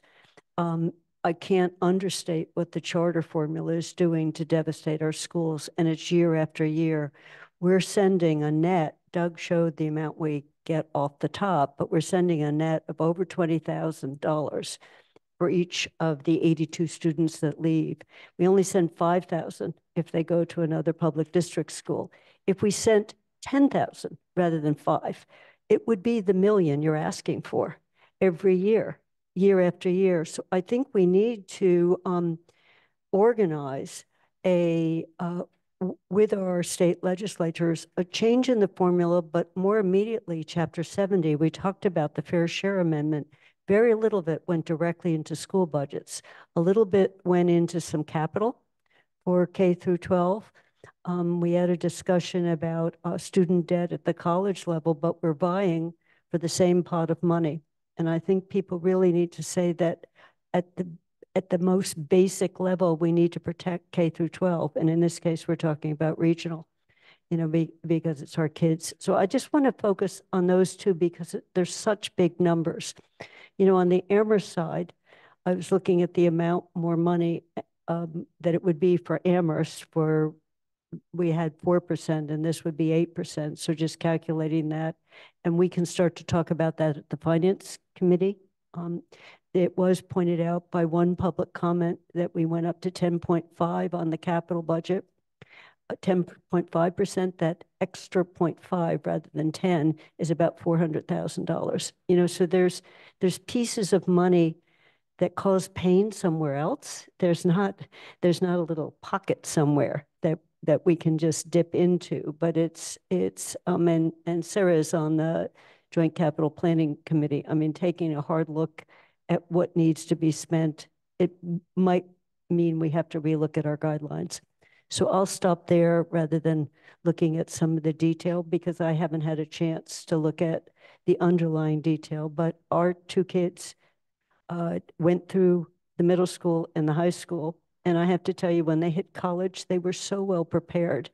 And beyond that, they had this extremely diverse experience of fr- friendships across all these different programs. And I would just, and they're 44 and 40 now, so we're talking about a long time ago. But, but they look, they, they treasured the time in our middle school and our high school for, for what that experience brought to them. And I, as a councillor, would like to have that continue to be an experience in Amherst. So thank you all very much. Okay, Pam Rooney. Thank you. Um, if, if I were looking at the chart, which is, uh, it says FY twenty twenty-five proposed budget, and it has the payroll accounts and the expense accounts at the top, if maybe we could look at, see that. Um, a couple, couple of basic questions. Um, if someone would take the time to explain um, how our Amherst vote affects other towns, first question. Second question is, um, does choice in payment for special ed, uh, it was mentioned a couple times that we get tuition for, for special ed and we get tuition for regular ed choice in. Does choice in for special ed tuition cover the actual cost of special ed education? Um, when I look at, when I look at the, any of the proposed numbers, the, the um, payroll accounts for special ed exceed that of regular education. And I don't know how many students are supported in special ed as opposed to reg regular ed. Um, in the ex expense accounts, just the top, oh, five or six lines, which is regular education, special ed, other programs, student programs, school administration, central administration. If someone could describe what expense accounts means. It's it's in the realm of five million dollars, so it's really becoming real money. It's um, anyway, that's the question. What what does that consist of? Thank you. Doug. Yeah, so I'll I'll I'll try to go through those. So there's a couple of things. Um, so there's school choice, and then there's also tuition in. So for when I was when I was speaking earlier about uh, collecting tuitions from special education students, those are are into our specific programs, which is different than school choice. It's an actual placement like we have. Uh, there are, you know, some students that we have that we don't have programming for for special education purposes, and we uh, uh, will send those kids to what we call out-of-district placements. Uh, we are receiving district in a similar way. So when we when we uh, charge for that, we're trying to estimate when we we set up the the billing technically with them. We're trying to charge for for what we're incurring. Separately, school choice, which is, um, you know, we are a school choice district. We do accept school choice students. The base amount for any student that's a school choice student, so uh, is is five thousand dollars. If they have special education costs, those are then calculated, and and we do a process called school choice claims, where we essentially bill back the districts that send to us, and so we do recover those costs uh, one to one. So so special education costs definitely uh, in in both of those circumstances are are ones that are covered by uh, by those sending districts. Um, see if I can remember all the questions. Um, so, um, shoot, lost my train of thought. Uh, other was how how does the Amherst vote affect the other towns? So, uh, so the way it works is this, and I'm gonna this is gonna get a little technical about how the budget process occurs. Um, so there are there are really three parts to getting a regional budget passed. There's a capital assessment that all four towns have to agree to. Um, in the operating budget side of things, there's really two pieces to that. There is the assessment method itself, and then there is the actual, you know, sort of numbers, the operating budget itself. And so both of those have to have to pass for uh, the regional schools to have a budget. Because we use an alternative method, all four towns must agree to that. Uh, that alternative method for the budget to pass. So we can have, on the other hand, on just the dollars and cents part of the operating budget, three of the four have to pass it. But with the assessment method, because it's an alternative method, all four must agree to it. So if any one town rejects the assessment method, uh, we don't have a budget. Um, uh, and if two towns reject the sort of numeric part of the, the budget, that also uh, would would have us not be uh, able to have a budget for for the coming year. So that's uh, so each of the towns has a fair amount of power to to uh, to reject a budget um, by virtue of that. Um, you'd ask a little bit about uh, special education costs. Um, so payroll accounts at the top are all about salaries, basically. That's just all salaries up there. Expenses um, are a variety of different things. Some of it's, you know, instructional supplies. It's, you know, whiteboard markers and workbooks and paper and, and things of that sort. But it's also things like some of the replacement equipment for Chromebooks or, or technology that particular kids need. And so in special education, you might have an adaptive type of, of technology that someone needs. That's in the expense accounts. Um, sometimes it's for uh, services that we need that we can't provide ourselves. So sometimes we have to contract those out. Um, if we have difficulty either hiring staff that we'd like to have, we'll contract out services, or if it's something specialized that we don't offer or we don't have or need it on a regular basis, we'll often contract out uh, for those services. So it's a whole host of different things that fall into those categories. Um, a little over, you know, probably in the 23, I don't know the number off the top of my head exactly. It used to be more closer to 20, but it's it's crept up a little bit in recent years. The number of, you know, the percentage of our students that that have uh, special education needs is is about uh, 23% or so. It's it's not quite to 25%, but it's it's gone up over the last few years. Um, but special education services are often expensive and they're and they're largely compulsory. In other words, we when when an IEP or an individualized education plan gets written, it's something that's agreed to between the, the district and the families uh, relative to how best to meet their students' needs uh, so they can access the curriculum. And so it is uh, intended to be the least restrictive form to for those students to, to access curriculum. Um, uh, but it often involves a variety of, of, staff that provide a variety of services depending on the kid and what their needs are. Um, and so that it's it's just on a base level, it's more expensive than than kids that don't have IEPs. Um, just to, you know, that it just requires a higher level of sophistication and staffing to do that, uh, and sometimes equipment too. I think I got. Hopefully, I got all the different pieces you asked about. Okay. Mandy Jo? I'm sorry, Councillor Hanneke. Thank you. Um, a couple of questions to hopefully take advantage of the fact that we have Sarah Bass Kenny, our regional school committee chair here, and two members of our regional school committee, because I don't know whether they'll be at finance or not. Um,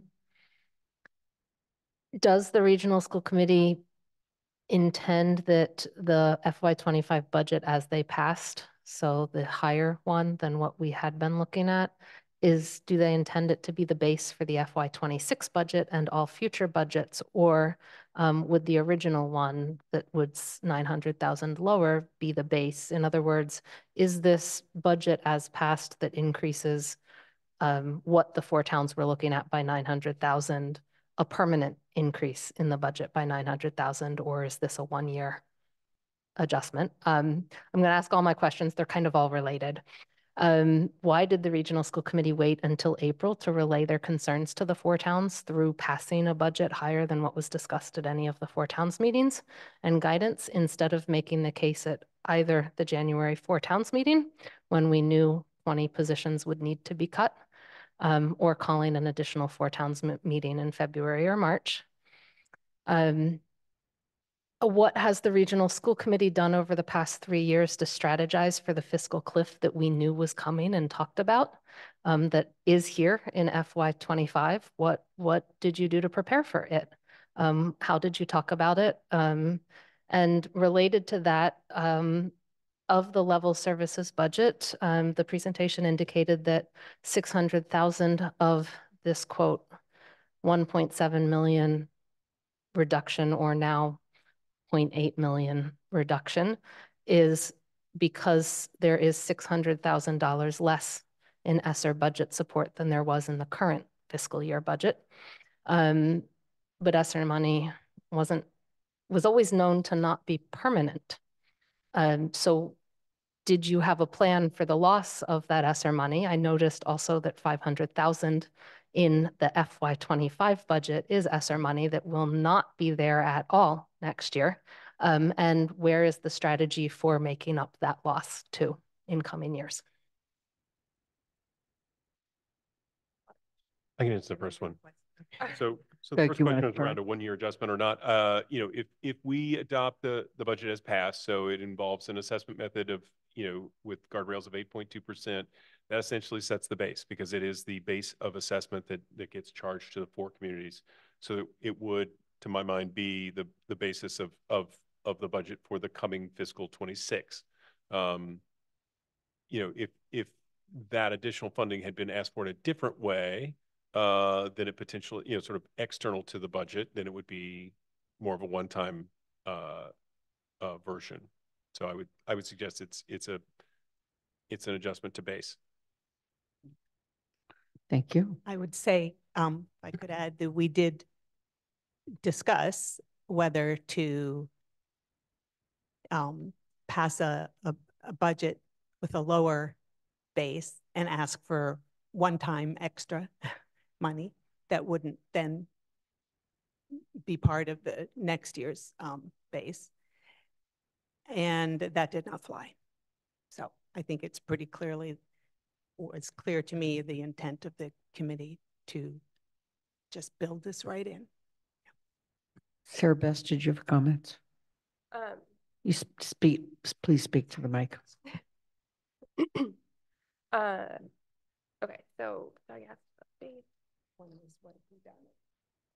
So we have actually, um, after the four of our people have talked to our four towns, and one of the things we have asked the business office to um, create and present for us is a three-year look ahead. We'll do exactly what you're asking about. How will this look for our future? Um, uh, and what were your other questions? Sorry. So one of my questions was about Four Towns meeting. We knew these twenty cuts positions were presented in Feb, in January's Four Towns. Um, why did you wait till April to tell the towns it was unacceptable instead of calling Four Towns meetings in February or March to discuss this? Uh, I think we didn't know exactly what was going to end up being cut. Um, and so that's, that's why we, I, in can I add addition, something? Go ahead. in addition to the look ahead that we've asked the, uh, business office to, to do for us, one of the other things is we would like to have another four towns meeting, so the four towns can come together and hopefully review the three-year look ahead and, um, you know, have more discussions about how to not only manage for this year, but also to manage for our future years. Uh, There is a Four Towns meeting at this point. Uh, The tentative date is the twentieth of April. Um, That does not answer the question. It just places that piece of information out there. Uh, Councillor Hanneke, did you have a follow-up?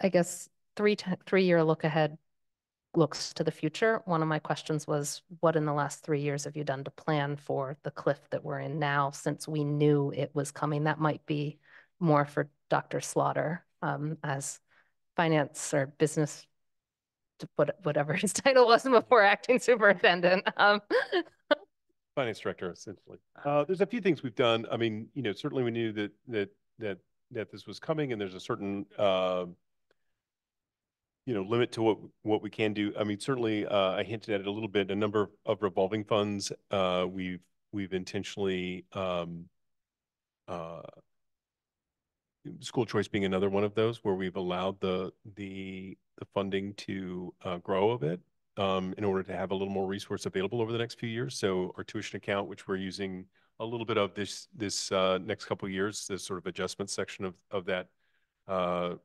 adjustments, uh, reductions and ads, uh, you know, we're starting to leverage those, those resources that we've, um, uh, I want to say stacked up, but we stacked up over the last couple of years. So we used, you know, so there's a few things there that we've done. And, and, and as you'll note from that, um, you know, the, the, the idea being that we can sustain, uh, some of that support, you know, for example, the, the tuition, you know, support's gonna, is, is for special education is about 125,000. If you take the sort of top and the bottom one, we think we can sustain that for a year or two. And obviously that gives us more time. Uh, you know, we're sort of spreading this out over a longer period of time uh, to not make it as abrupt, but nonetheless, it's still a pretty abrupt change.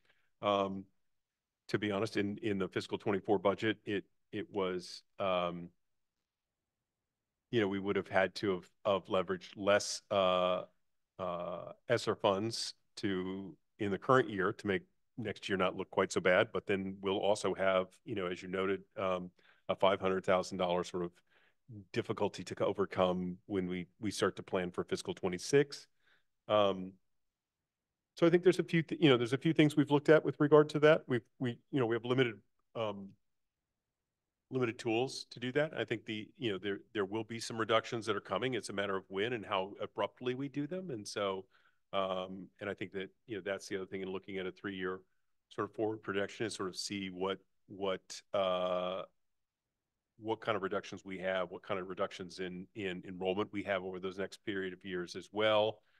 Um, and it, it gets difficult to sustain the variety of programming we have uh, if we have a continually a continuing decline in enrollment. So that's it's there's going to be some trade-offs here we're going to have to make because you know we're currently at under 400 students in the middle school, under nine un, under 900 students in our high school. It's difficult to sustain the wide variety of things with uh, with that few students. And so, do we start to look at more school choice? Do we look at other kinds of options uh, as we move forward?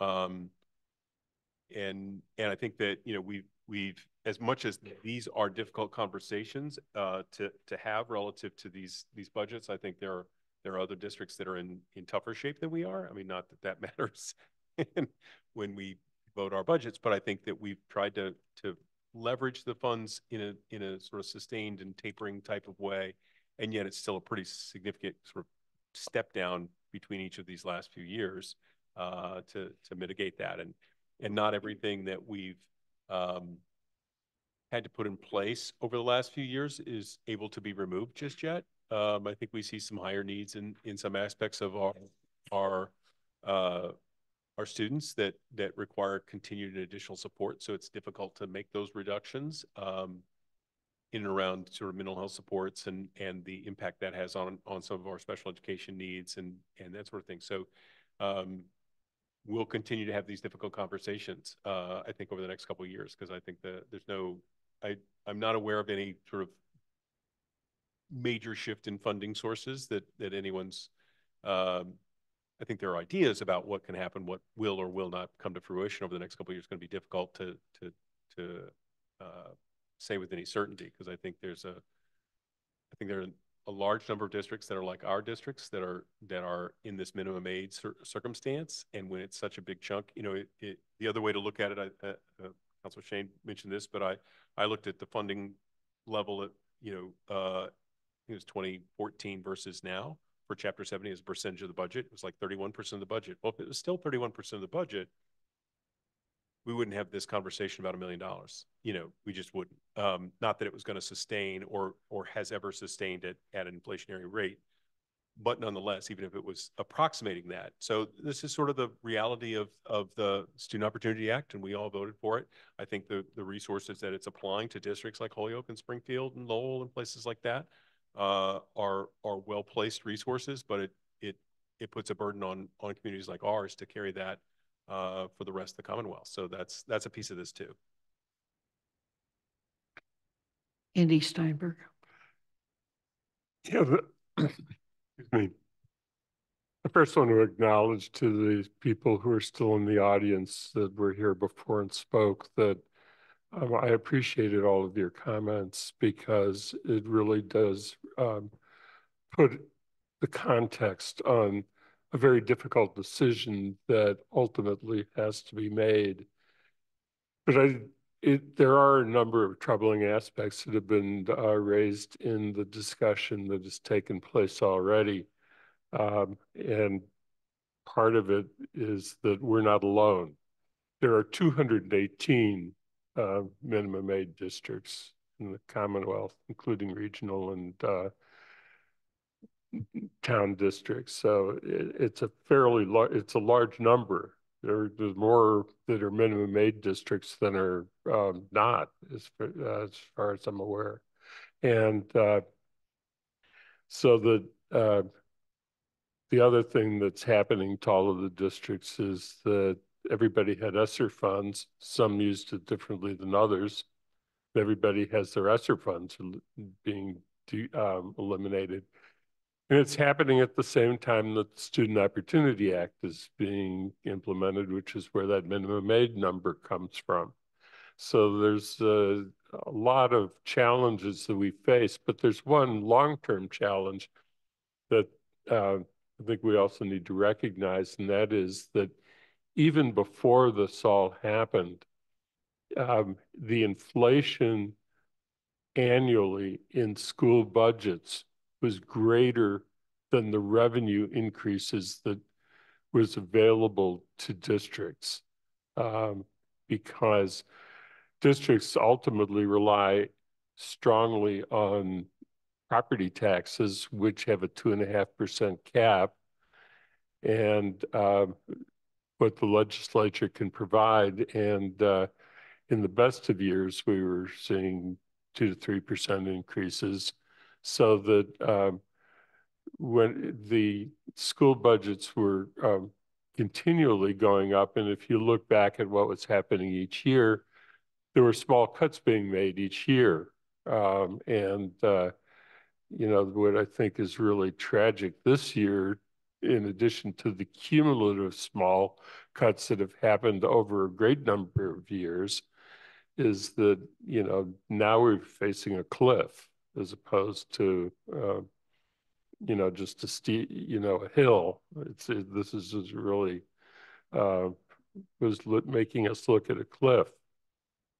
So I, I recognize all of those things and I've been working, as you know, with the uh, Massachusetts Municipal Association to look, to look into the fiscal policy issues, but they're not easy solutions.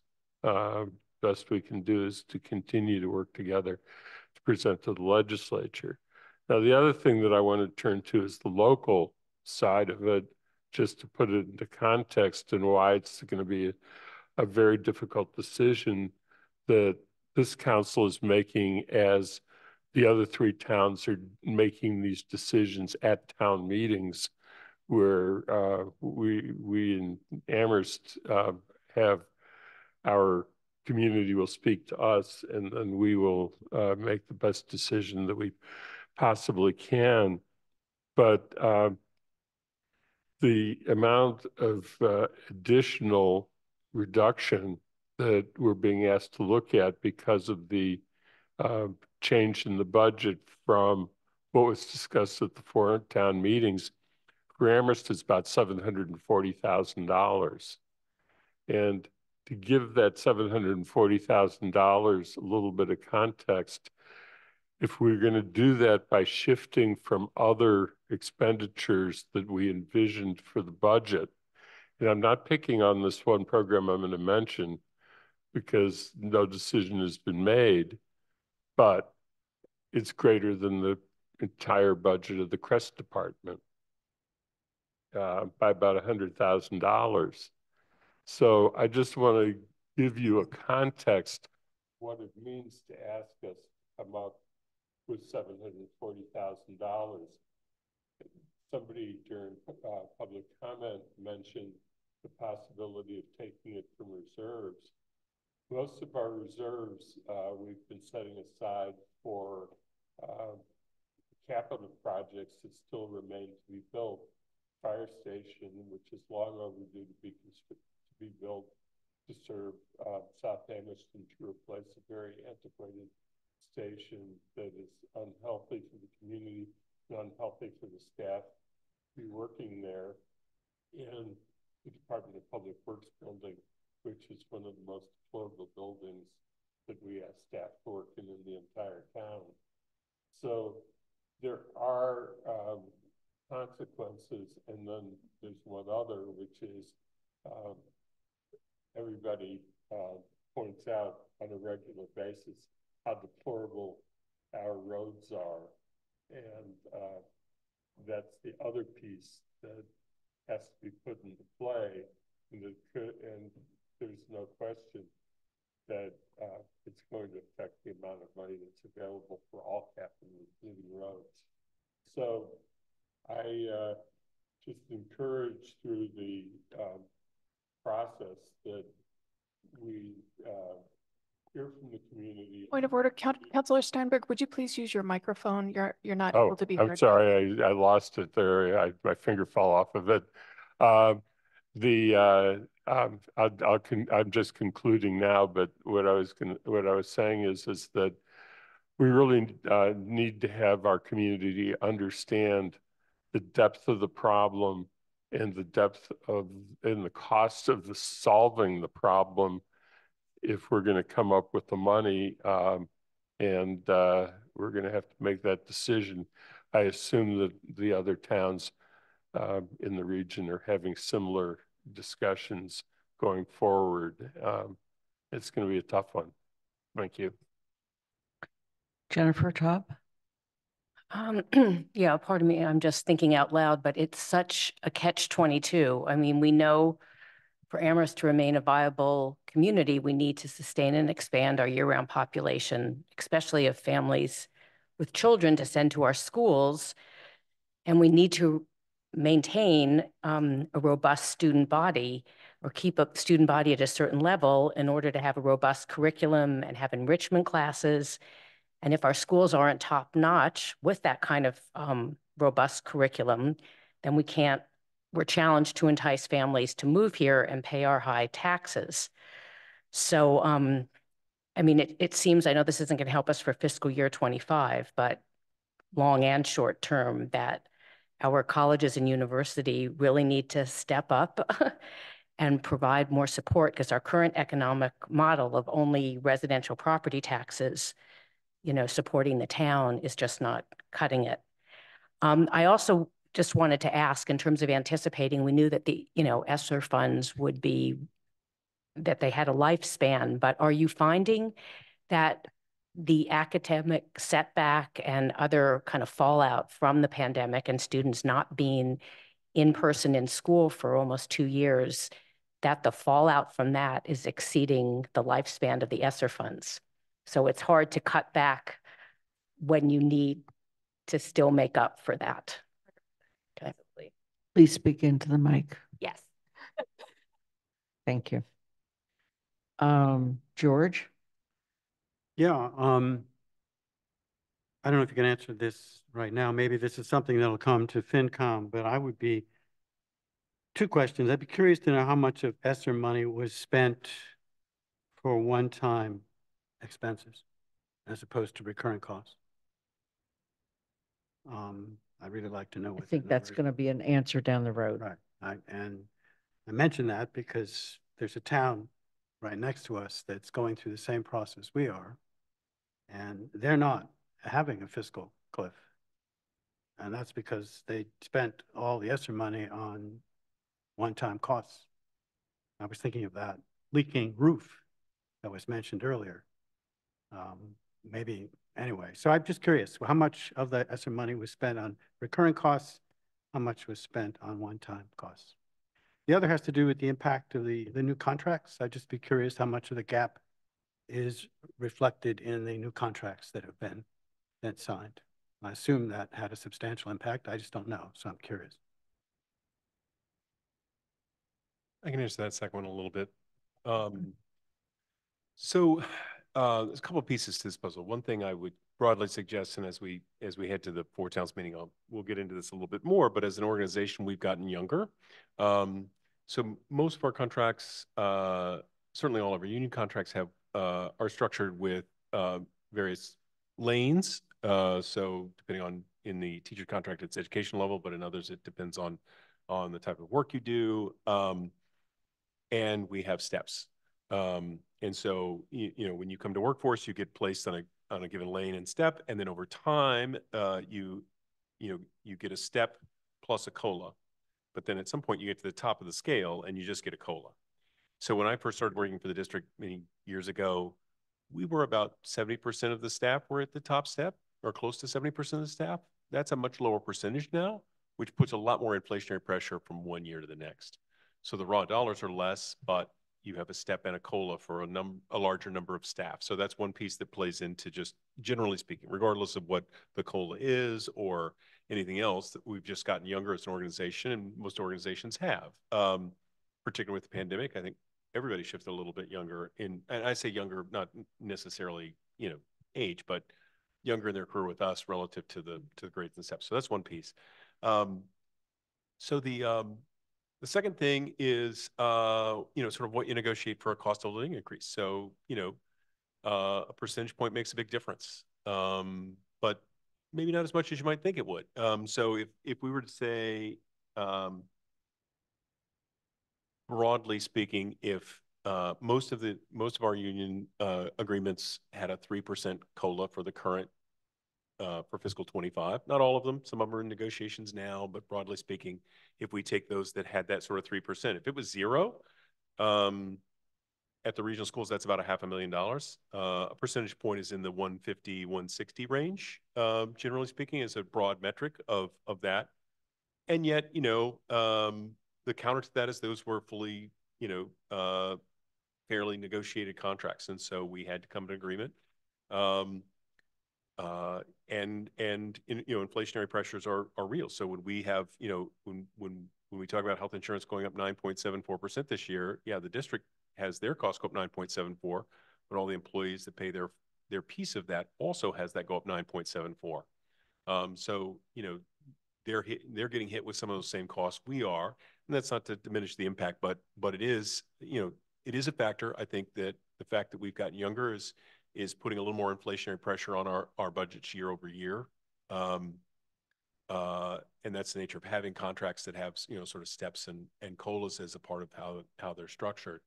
Um, but I think a lot of districts are in the same boat as we are because, you know, baby boomers are retiring or have retired. Um, that's sort of tapering to the end. Um, and so, you know, new staff are coming in and, and are not at the, the very top of the, of the uh, of the salary scale.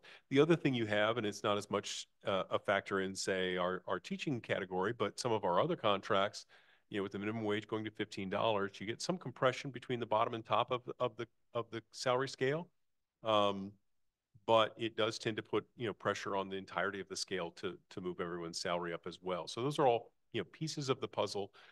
Uh, no real you know sort of straight line connections between some of them, but at the same time they're they're there and they are uh, you know, they are factors in in influencing our our labor costs. And since we are so labor intensive, uh, as far as our costs are concerned, um, anytime those things impact labor, it's a much more profound impact on our overall budgets. And back to the question on uh, how much for one-time things versus ongoing things. Uh, we had a mix. Um, you know, we did some one-time funding. There were sometimes there were some positions we funded for for a short period, and we've tapered those out of our budget. There's some things we've been we've been supporting and we thought we would be tapering more of them out and we haven't been able to yet. So it's it's kind of a mix would be the the sort of broad answer at this point. Um, I can look more closely at the at the specific specifics of that. Um, there are some things that we definitely bought that were one one time sort of things. Um, uh, leveraging the ESSER funds for capital expenses was a bit involved. You couldn't um, you had to do uh, a fair amount of of uh, effort to allow it to be used for capital expense. So it had to be kind of a careful structuring there. So we didn't do as much of that, uh, as much as we have capital needs as, as you know, you've probably seen in, in some of our documentation and given the ages of our buildings, but, but, uh, it was, it, it was a non-straightforward process to do very much in, in the, in, in the realm of capital with ESSER funds. Um, I'm concerned about how I heard you talk about revolving funds. Mhm. Uh, so you built them up in, over the period, say from COVID. And now you're using them as a way to help make it not be as bad. But even that has a limited life, correct? Correct. So the idea is to make the, the shrinking happen over a longer period of time as opposed to Got it. severe sort of steps. Got it. I just wanted to make sure I understood that one because it, it's kind of like ESSER. I mean, it's not going to be there forever. Right. and you built up some reserves in those and now you're using those to make it slightly less painful. Right. Okay. Um, the other, there's a couple other realities out there. East, some of the Eastern Mass towns actually are gaining some population, but we're not. And as much as I hope and would love Amherst to be able to attract more young families to it, the reality is the birth rate isn't there. We know already who is in kindergarten today and where they will be in 12th grade. And so we need to be planning in a way that understands what the school population actually looks like. In addition to that, people are migrating out of the Northeast, not to the Northeast. And if we think this looks bad, wait for about three years when it hits higher ed and they start seeing the real problems, even in our own town. So that's a reality. I, I just have hope. I have serious hope that we can find creative solutions to continue to offer the best possible variety of courses to a shrinking high school population.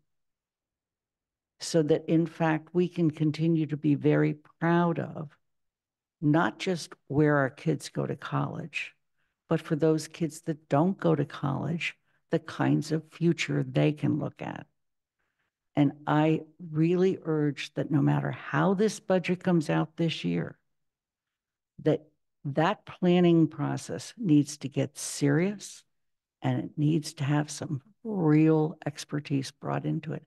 And it has to involve conversations across the Commonwealth because the solutions are going to have to be across the Commonwealth. We're not alone. You've said it many times. So somehow or another, as we, as you know, Amherst, put our faith and our hope in our schools, we've got to ask that you not put off this really serious, serious planning for the future any longer. I know we're looking for a new superintendent, et cetera. Let's hope they're ready to take it on. Because we can't be sitting here every year asking for an 8% increase in our budget for the schools. And there is no way that I see the state making it up. Somebody said at one point, Chair, Chair Sarah Marshall and I discussed, oh, let's do a campaign for Chapter 70. And then I realized we'd be going to the state to try to get about $80,000 more. And I said, how much time can I spend on trying to get $80,000 more from the state? You know, it isn't, Chapter 70 is killing us. It's killing, and charter. And it's really hurting a wide variety of school districts. But Amherst has to figure out our future. And it has to be a future where we stay invested in our kids and we figure out using things like technology to make sure we can continue to offer the variety of classes that we are able to offer now. I don't have a question. I'm sure I'll have more, but you answered the one about revolving funds. Pat DeAngelis? Thank you. Uh, you know how when you have a pebble in your shoe, it can be really small, but it keeps bothering you. I uh, have a very minor question in this very large structured budget. Uh, the reduction of capital projects, okay? And we're being told, not me for the first time, about leaking ceilings or pipes that have flooded auditoriums and rooms. So is that being addressed this year as a capital project? What's happening with that specific pebble? So we've, you know, we knew we were needing a roof at the middle school for a while. Uh, we have been, uh, applying every year for several years to, uh, to get, uh, support from the state, uh, through their MSBA projects, um, called Accelerated Repair Program, which is different than the one that the town of Amherst is getting for the school building. Um, and, uh, you know, we're, we're in a group called Everyone because, um, you know, districts across the Commonwealth built schools like we did, uh, in the, in the late sixties and early seventies. And so all of them have school roofs that need to be replaced at the same time. So the, the, the program and the funding source for MSBA funding, uh, is, is kind of highest need first. Um, and so, you know, each year that they sort of award projects uh, like roof replacement, um, we tend to be sort of one year out of the cycle of cutoff for that. Um, so we've been planning and working on that, and we have actually a debt authorization to, to, uh, which we'll, we'll probably have to get a larger one in, a couple of years because a number, number of years have passed and the costs have gone up. So we've been, we've been continuing to work in, in, in submitting to that program and have not yet been successful. And, uh, uh, last fall, we did, we did, uh, take some of that debt authorization to do some, some repair work on that roof. Um, uh, and yet it's, you know, it's not a complete repair by any stretch. Uh, you know, it, it is a bit of a whack-a-mole problem with a roof that's, you know, at that over 25 year old sort of place. Um, I will say that the, the, you know, the sort of weather event, I mean, we do have and have had for several years issues with regard to, to the roof and, and, and we have uh, a variety of ways we've tried to capture that water in, in ways that are least harmful to students and, and least disruptive to the educational program. However, uh, we had a circumstance the early part of the winter where, you know, we've got three or four inches of snow and then it rained for two days. And so that's basically put a sponge on top of the roof and then fill it with water.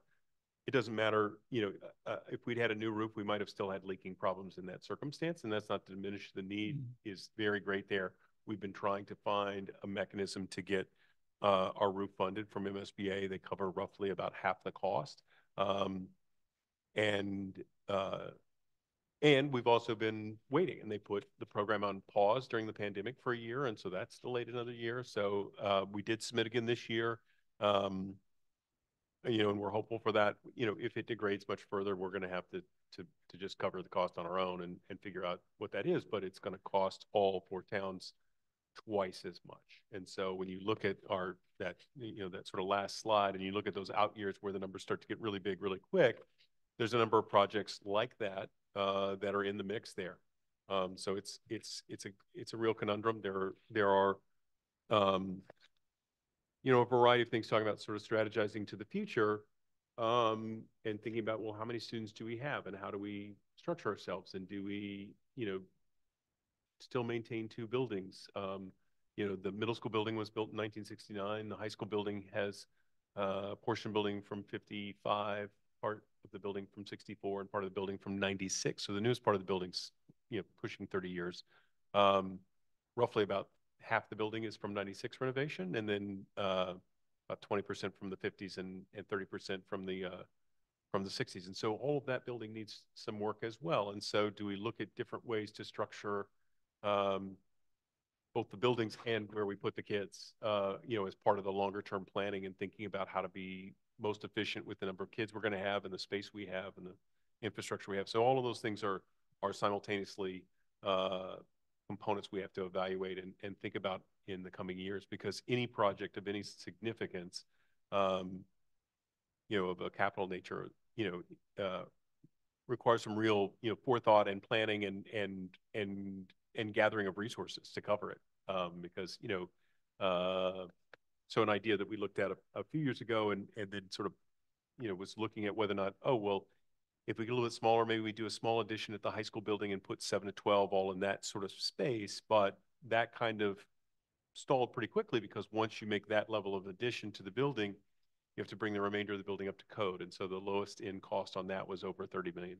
And that was, you know, five years ago. So all of those are in the mix as we think about these kinds of things. And, and, and we're endeavoring to, to, uh, to maintain those buildings as best we can, uh, and, and strike that balance between, you know, uh, uh, leveraging state funding to help us out and just needing to do some of the work wholly on our own. And we're trying to find that right balance in, in doing that. Um, but it makes for challenging spaces for kids to be in. and That's unfortunate.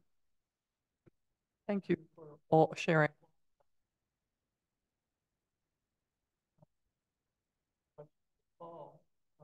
Around this is whether or not ARPA funds can be used to do it. Or this is the discussion, the budget. I- I have it on. So ARPA, ARPA funds, I believe, could be used for that kind of repair. Thank you. Councillor Hanneke? Um, this question may be more for our town manager, but potentially also our acting superintendent. Um, negotiations with Amherst College for potential pilots have been ongoing for a number of years, and we have not received a lot of updates about those. But my question is specifically regarding funding for schools from Amherst College. Has Amherst College during those negotiations offered any specific amounts of funding specifically for either our elementary or regional schools or any capital projects related to them? And if so, what is the, what was the town's response to the specific funding that may or may not have been offered? Uh, so currently is my understanding that Amherst College provides about eighty-five thousand dollars a year. Seventy-five thousand goes to the region and about ten thousand goes to the elementary school. Um, they have discussed a slightly larger number um, over a long period of time, which I've determined is well, well, well below what needs to happen from the college.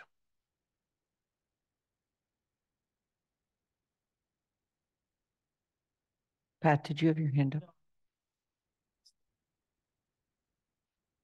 Okay, seeing no more hands, I'm going to make a motion in accordance with, and seek a second, in accordance with Charter Section five point five A to refer the Amherst Pelham Regional School Budget to the Finance Committee for a public hearing and recommendation to the to the council within thirty days. Is there a second? Second. Thank you, Andy. Uh, are there any other comments or questions? Seeing none, I'm going to begin with Ana Devlin Gauthier. Aye. Councillor Ette. Aye. Lynn Griesemer's an aye. Councillor Hanneke. Bob Hegner. Aye. Councillor Lord.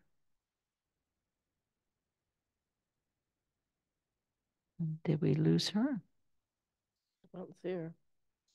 Okay, I'll come back and see. Uh, Pam Rooney, Yes.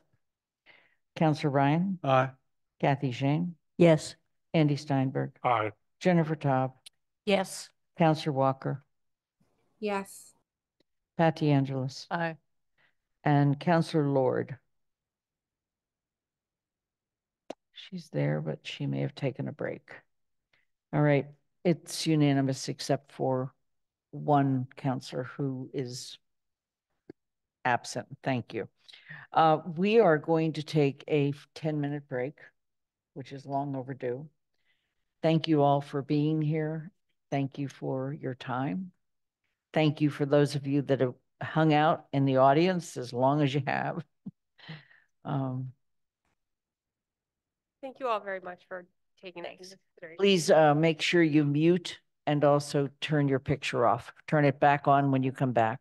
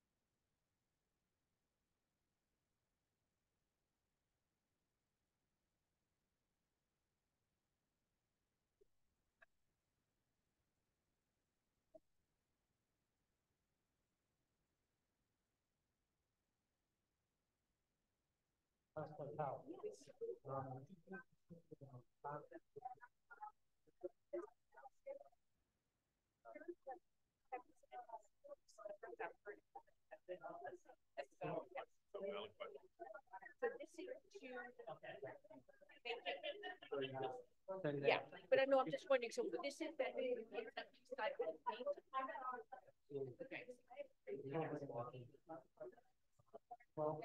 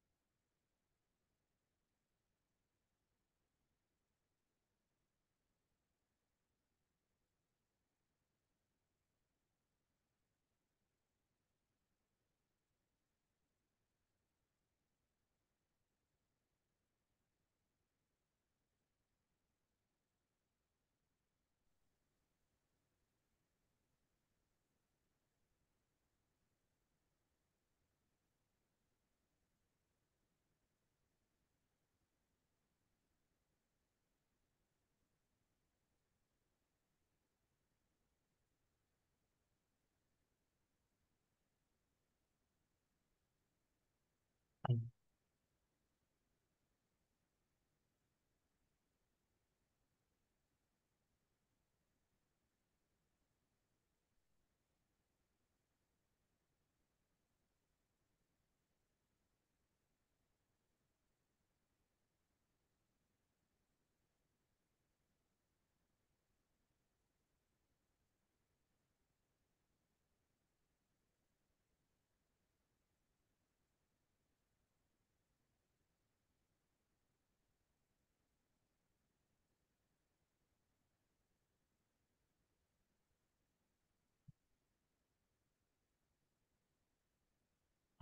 Um,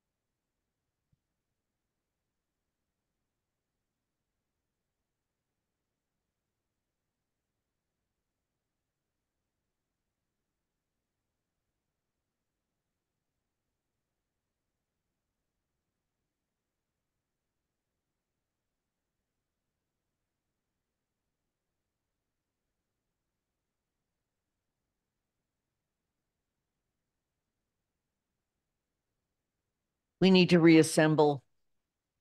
Thank you. Yeah.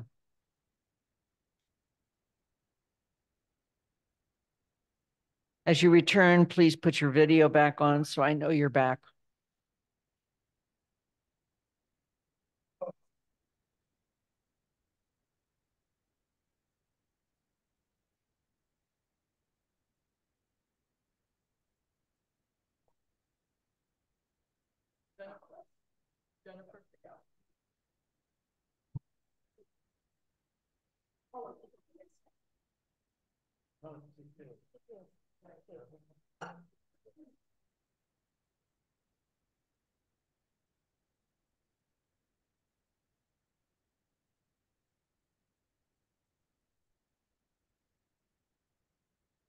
I just want to make sure people are back. I'm, okay. You're back. All right. Um, the next item on our agenda is the Community Preservation Act appropriation for FY twenty-five. Before we begin, I'm calling on Jennifer Taub, and then I have a statement to make as well. Please go ahead, Jennifer. Um, yes, I just want to make the statement that uh, one of the applications for the CPA is from, to the CPA committee is from the local historic district commission. And my husband is a member of that commission, but neither of us have any material interest in the application. So I don't feel I need to recuse myself, but I just wanted to share that bit of information. Thank you. In a very similar vein, my husband is on the group that has applied for the Mill River Historic work. And uh, his name is on the application as one of the members. Again, neither he nor I have anything to gain from that, and so I see no reason why I can't continue to vote. Pat, I guess I need to say something about Carol. I guess you do. It's what happens in small towns. We're all related. My wife is one of the co-chairs of the uh, Amherst Community Housing Trust. And, uh, but that is not affecting whether I vote to support it or not. Thank you. Are there any other confessions? Any other, any other related complicated relationships? Please don't talk about them. Thank you. Okay, Um, this is, we're gonna start, I'm gonna, put. I'm gonna place a motion on the floor, okay? And uh, that is in accordance with charter section paragraph five point six, I guess it's section five point six, having been published on the town bulletin board for a minimum of ten days on February 23, 2024, a public forum held on March 18, 2024, and having been reviewed by the Finance Committee with a report on April 1, 2024, to adopt Council Order FY 25 07A, an order appropriating the FY 2025 Community Preservation Act budget as shown on page seven of the motion sheet. Is there a second? Second, Rooney. Thank you. Comments? Kathy? Yes, could you just show the motion that we're looking at? Uh, because there was, there's one line that's been amended in the original uh, financial order, and I want to make sure we're, yes, that's, that's what I wanted to see. Thank you.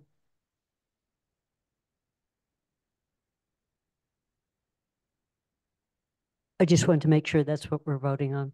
It is. Okay. Are there any comments or questions? Yes, point of, point of order, actually. If we, if we, the motion deleted the, the twenty thousand dollars for the East Historic District, how would one reinsert that? You would have to make a motion to amend the motion. This is the motion at, let me begin first of all by saying, I'm going to ask the Finance Committee to comment, and then we'll go to the rest of the council. So, Bob?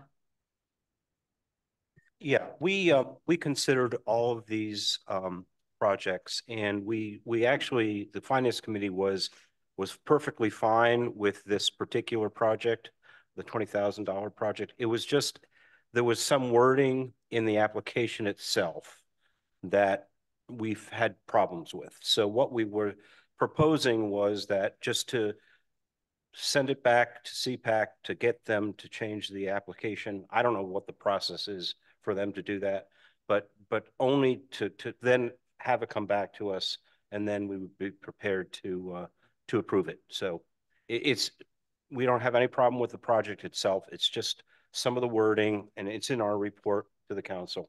Some of the wording was um, such that we didn't want to uh, have that be establishing our positions on certain things. That the council has its its own positions on development and other issues. Um, the other thing is that in the original, in this order, it's uh, the name of the pr project is the East Amherst Local Historic District, and it's not a study committee, which would that the, that word it should be it should read Local Historic District Study Committee. You know, we don't want to have this, you know, by de facto establish a district by by voting to approve this. So it's it, again, there's no issue with the project itself. It's just the language in the application and then how it was entitled on this order that we we objected to. I, I just want to acknowledge that Sam McLeod is in the is on Zoom with us. He is the chair of the CPA committee. And Sam, you um, raised your hand, so I'm going to call on you and then go to the other counselors. Uh, uh, uh, thank you, Lynn, and thank you all for all you do again. Um, I did watch the portion of the Finance Committee meeting. I am familiar with the applications. I thought it would be relevant for me to make a couple of comments regarding the project in question, which is the East Amherst Historic District. One point I wanted to make was that the report that our committee sent to Finance and the Town Council, uh, the names of the projects reflected the exact names that appeared in the applications that we received. That is to say that the specific name for this project application as submitted was East Amherst Local Historic District blank. Uh, it was submitted by the East Amherst Local Historic District Study Committee. So the study committee was the organization that submitted the request. The title of the request was East Amherst Local Historic District. Whether or not that would have been a desirable title to use for their project is a different question. Uh, if I were to have gone back to the time period where we created the descriptions uh, in conjunction with town staff that we sent to our committee, I probably would have placed adjacent to the title of their project in parentheses the word study so that it, their title as submitted, I might have made an asterisk amendment titling it East Amherst Local Historic District Study. Um, so that was one point I was going to make. Uh, the other point I wanted to make was regarding um, the concept of the CPA making alterations to the applications. Um, we have a particular form that's utilized at present as a standard process that was open from September 1st through September 30th of 2023. That application is closed.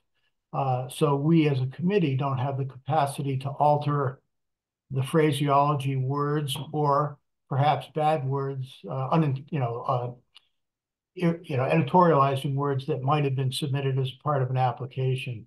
Um, so, uh, you know, I don't know what our committee might do if something comes back to us. I would offer the, since you've asked me to, or been kind enough to let me speak, Lynn, I would suggest the following, uh, that the applicant could conceivably submit some comment seeking to retract it.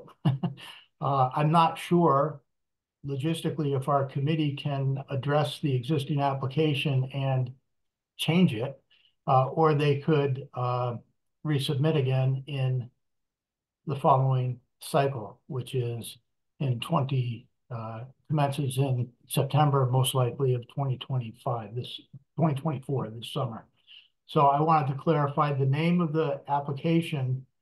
Um, it reflects that title, even though it might be a misnomer. Uh, and secondly, I'm not sure what our committee uh, can do in terms of altering other than to have a discussion related to the application and possibly get a comment or a desired statement of retraction for the council. Those are my comments. So uh, uh thank, thank, you, you for the opportunity to say my thoughts after having to listen to what was uh, discussed. Thank you. Uh, before I go any further, Pam Rooney, did we answer your question? Okay. Um, Councillor Hanneke.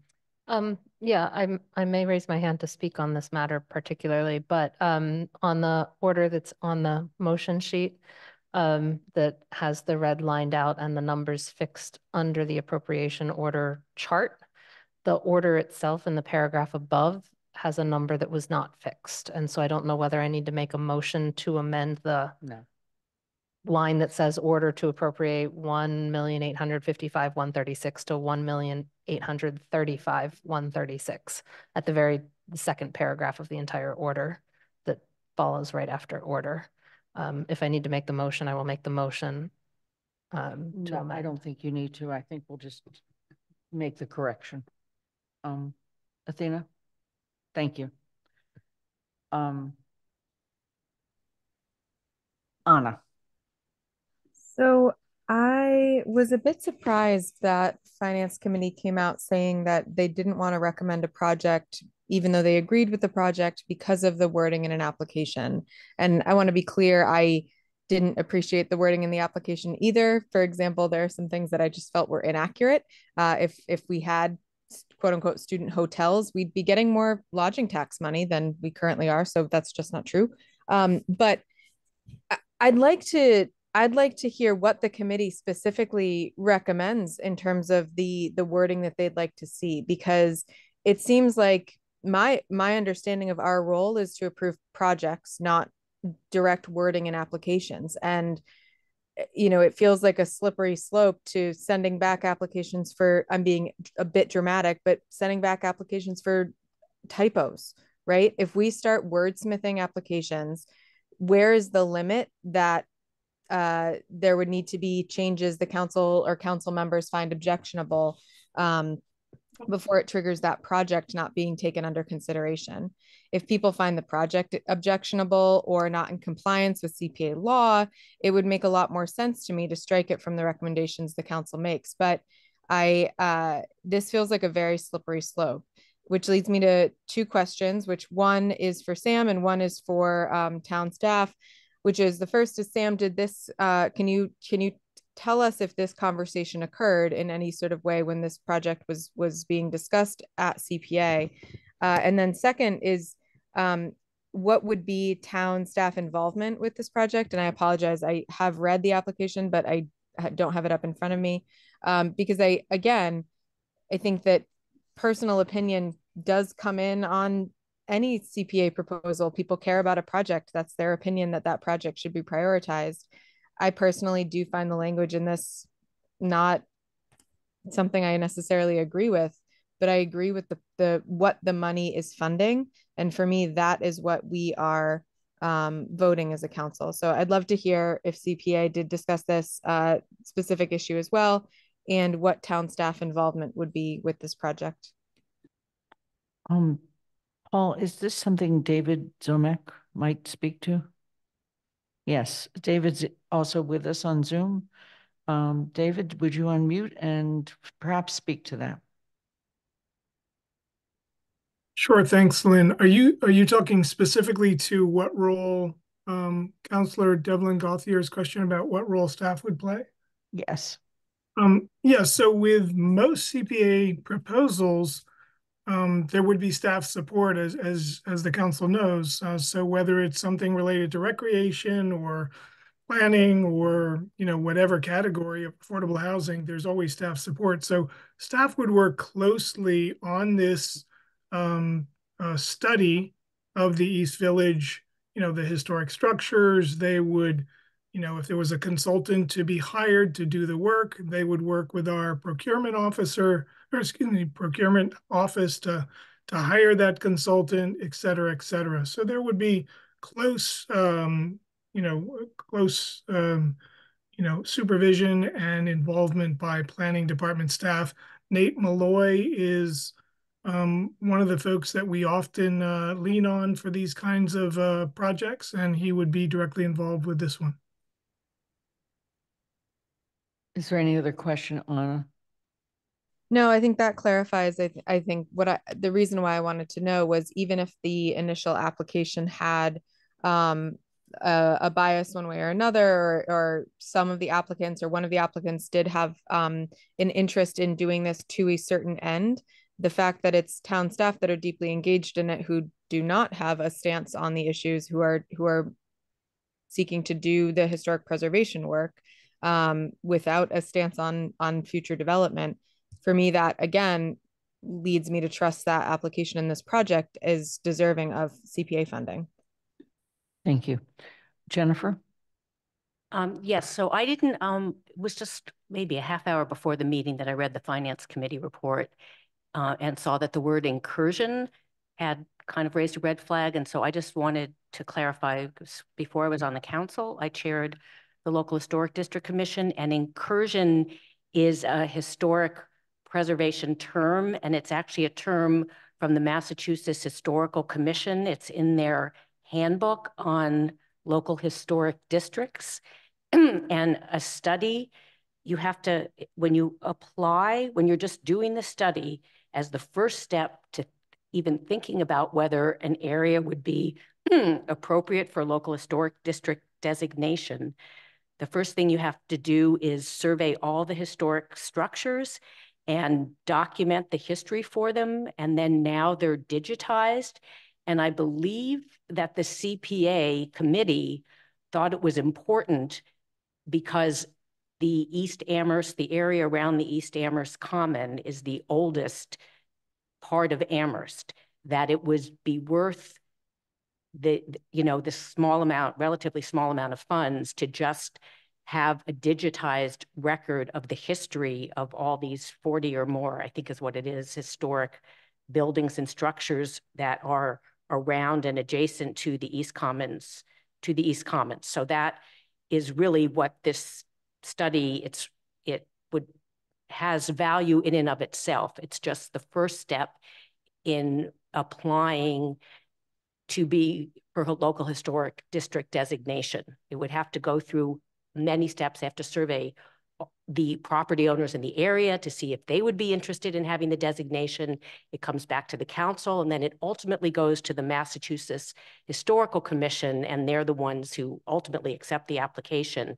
And they, in their instructions of how you um, sort of categorize buildings and structures in the area, some are called incursions. It's almost like non-conforming structures, but it's not a pejorative term or a subjective term. And that's where that word comes from. So I just want to clarify that. Thank you. Thank you. Mandi Jo? So I will address as a member of Finance Committee and uh, uh, Anna's questions because I was the one that initially brought this forward and struggled with whether I could support the project based on the application. Because to me, supporting a project is also supporting the application. And the application I had extreme problems with, even though after speaking with the chair of the CPA committee, I understood the potential benefits of the act getting the historic structures reports.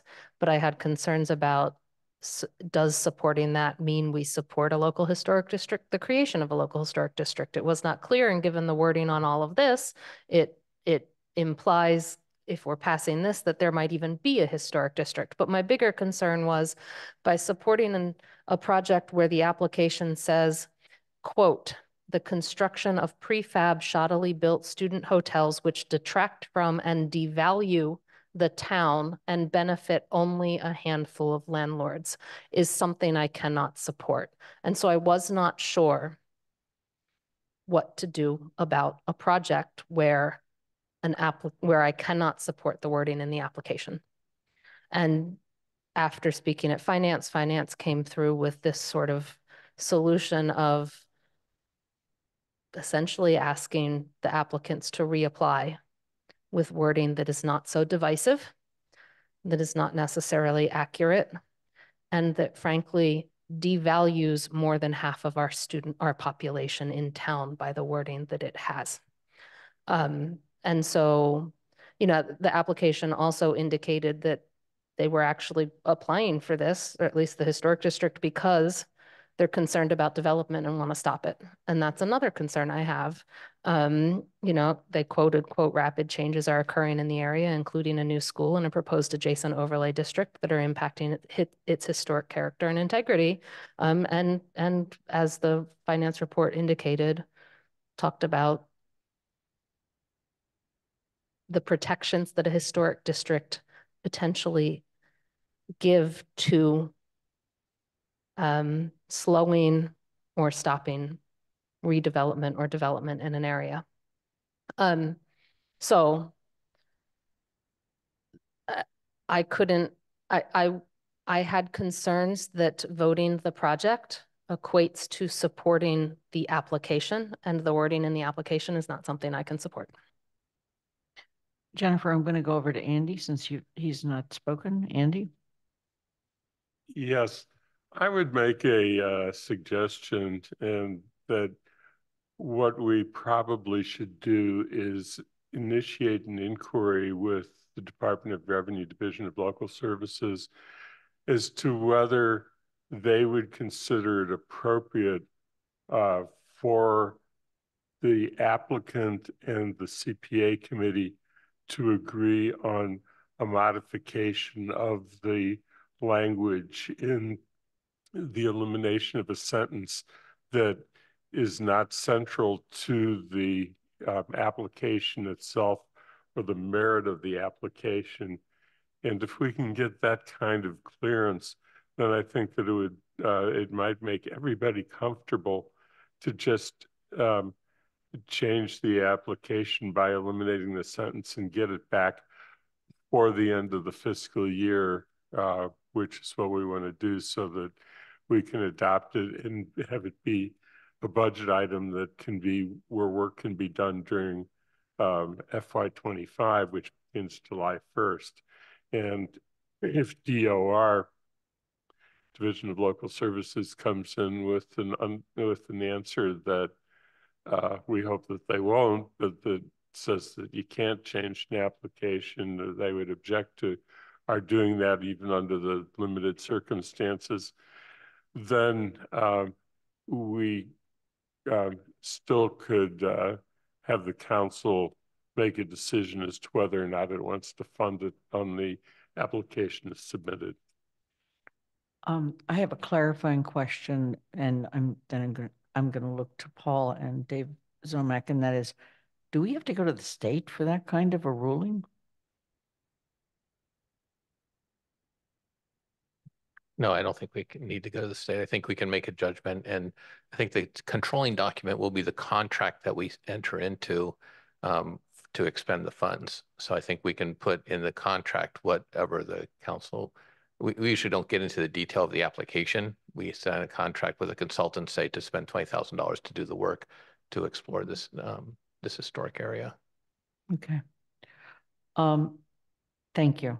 I, it didn't seem to me that this would require going back to the state. Um, but I am going to trust your judgment on that. Um, Pat, go ahead. She, she's spoken once, so I was going to give you a chance. Given, I understand you can correct the language and then that makes it all okay. And I can't support, if this were here right now, not removed by the CPAC committee, I cannot support it. I mean, Mandi, you, you stated some of the reasons. It's clearly designed, this district, which is in my district and near where I live. Um, it, it, it, it, it really is to stop development that we need. And the language is the true language of the people who are forming this committee. So you can change the sentence and make it sound better, but the goal of this particular group is the same. So I would not be able to support this uh, now or in the future. Jennifer? Um, yeah, so I wanted, first of all, in terms of development, uh, so I live in a local historic district. Um, we have had, the library is in the district. We're doing a major renovation expansion. Uh, we built one of a, the Sunset Fearing Townhouse development is in the local historic district commission. Before they did have to go before the commission to get a, a certificate of appropriateness, which they got. Um, they, the project does look like it's contextually belongs in the general, in the neighborhood, but there has been a lot of new development and building in a local, in the local historic, the uh, North Prospect Sunset Lincoln Local Historic District. Um, the Emily Dickinson, the uh, Amherst Media Building, that is in the uh, Dickinson Local Historic District. Um, Destination Amherst is, I mean, people come to Amherst to visit our, you know, if they're, if they're they have, you know, children that are visiting our colleges and universities, and then parents come to visit them here. And the other reason people come to Amherst is our history. And there are a lot of buildings in this area. It may never become a local historic district, but there are a number of buildings from the 1700s. It's the oldest part of town, which we would do well to ensure are not taken down, that there, and it doesn't mean that you cannot have development. I mean, in the district, the East Street School would be built there. Um, so they're trying to help Amherst retain its historic character, which I think is what Destination Amherst in large part is all about, is in no way pre precluded by having a local historic district. There is development and new building in local historic districts all the time, but um, you it would be harder to take down, you know, the 1700, I'm forgetting the name of the tavern where uh, the Bacons, yeah. um, or the JCA building, but it in no in no way precludes new development or uh, expansion of currently existing structures. Anna? So, um, the goal of the group can be what it is, but my question for, uh, I guess I'm going to just put it out to the group, and I, I, I think it might be Jennifer is the most experienced in this. Aren't the qualifications for determining whether something is historic or not and should be in this registry based on state or national standards. It's not something that this group gets to pick. Thank you. Jennifer is nodding for the record. So it's not something that this group is going to be determining qualifications that something will will then count as historic and can never be touched. Um, and and I am supporting putting this back on the list for exactly the reason that was stated, which is that the governing document is not the application, but the contract that is entered into that the town is a part of and town staff are, are a part of. Um, historic protections don't prevent demolition of historic structures. M my house is a really prime example of this. I live in a really old house. No historian is going to fight me if I said I wanted to knock it down because it's just not it's cute little spot, but it is not going to be, you know, in the history books here.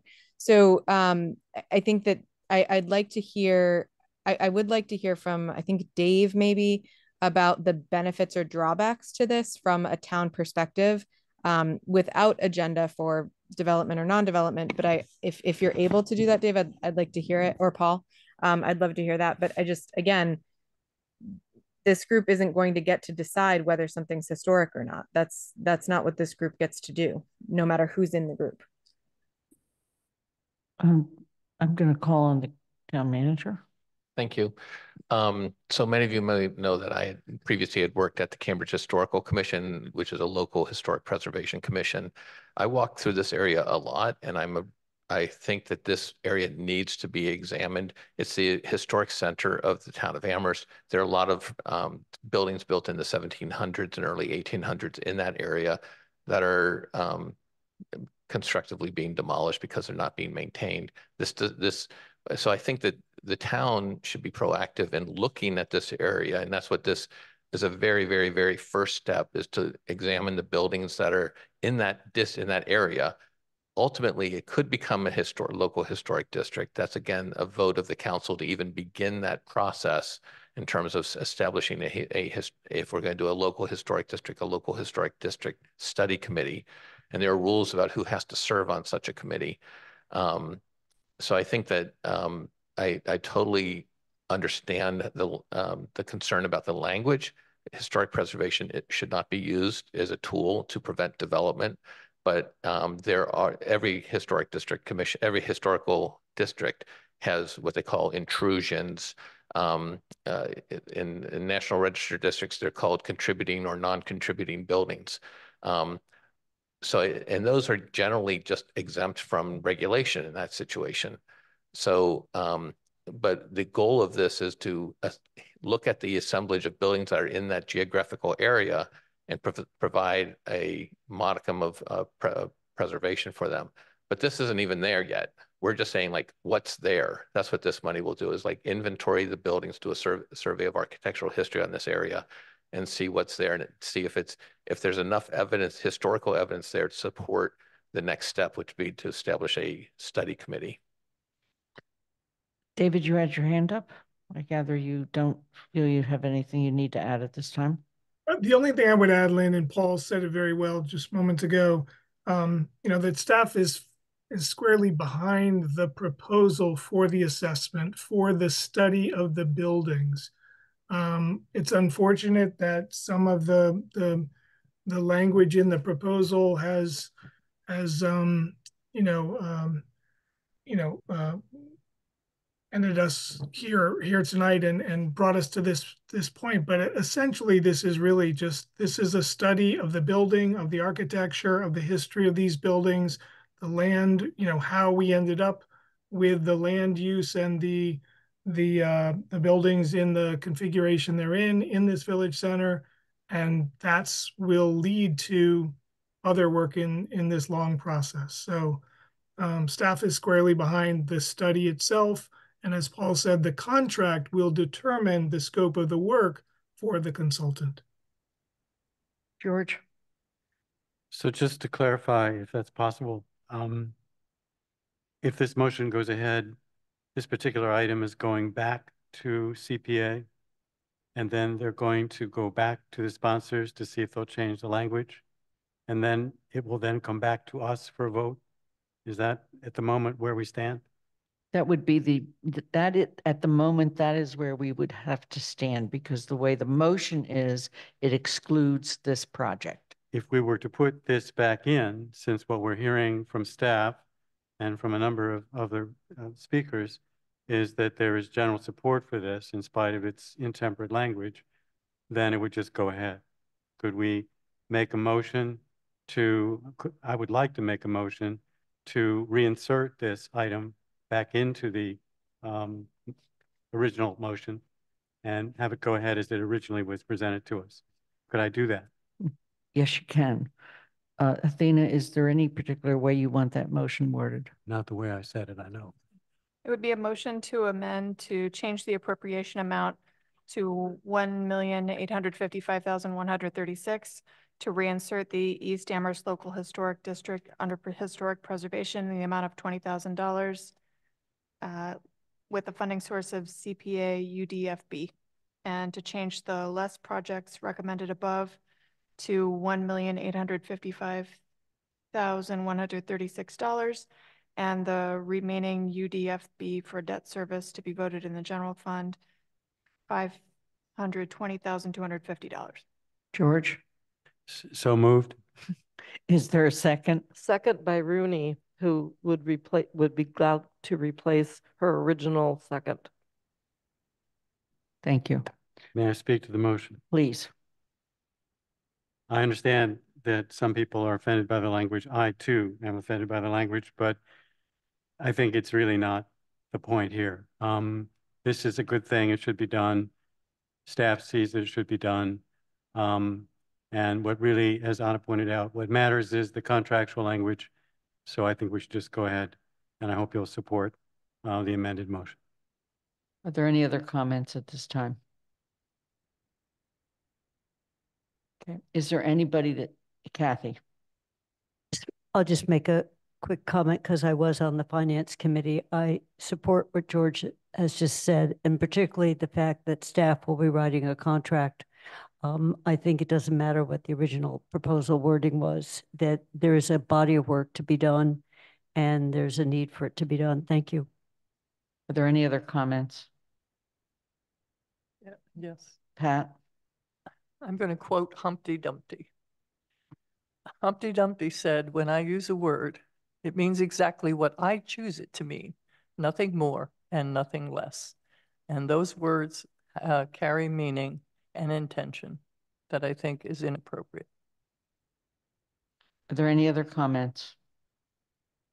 There's an amendment on the floor. The amendment's been made and seconded.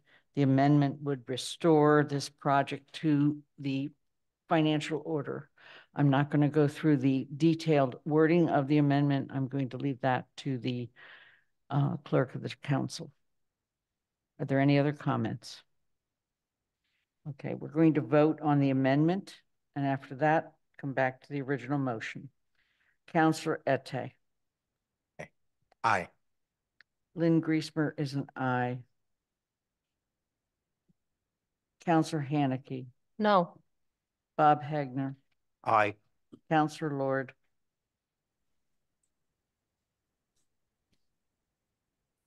Councillor Lord. Okay, I'm gonna say absent. Uh, Pam Rooney, Yes. Councillor Ryan, Aye. Kathy Shain, Yes. Andy Steinberg, Aye. Jennifer Taub, Yes. Councillor Walker, Yes. um, Pat DeAngelis. No. Ana Devlin Gauthier. Aye. It passes unanimously.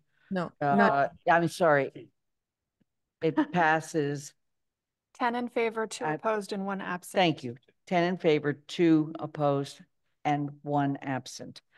Um, I didn't, I'm sorry about the unanimous. Now we are back to the original motion.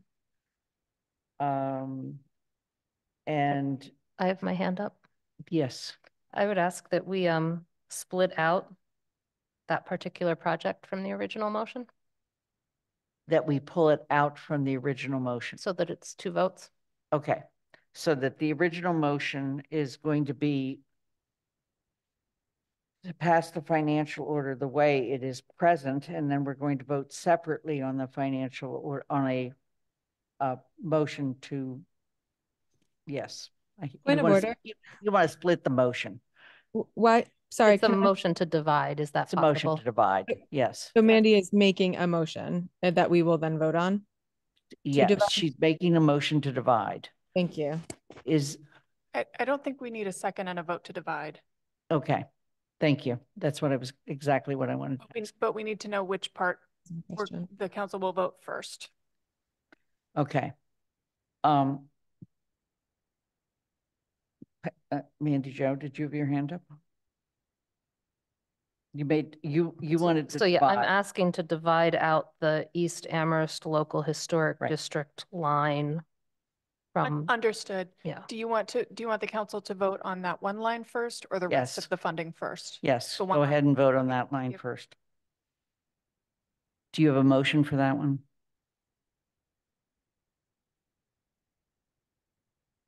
Point of No. order, I, I rarely say point of order, but don't we have um, a- a- an amended financial order on the table? Don't we? We do have an amended.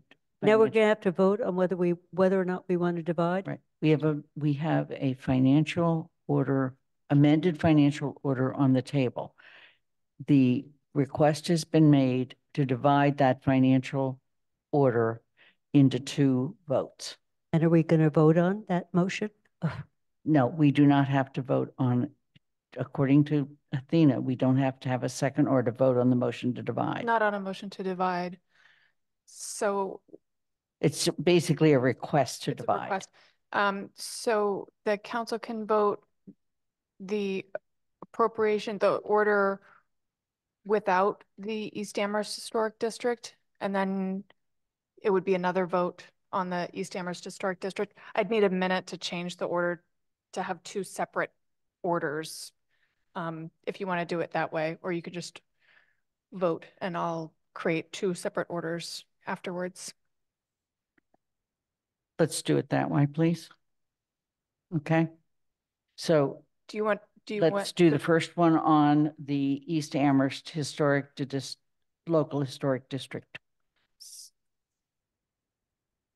Point of order, I don't know what we're voting on.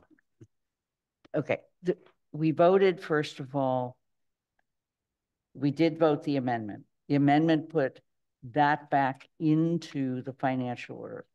Then Councillor Hanneke has requested that we divide the vote on the financial order into two votes. One is a vote for the East Amherst Local Historic District by itself, and the other is for everything else. Okay, but the original It's order was amended, that, that, that there's a motion to, right for the amended version of the order, correct? to be divided. The current order that's in front of the council, that's on the floor, the motion that's on the floor is a motion to adopt the order appropriating the Community Preservation Act budget with the East Amherst Local Historic District line, because that was, the amendment was to add it back to the order.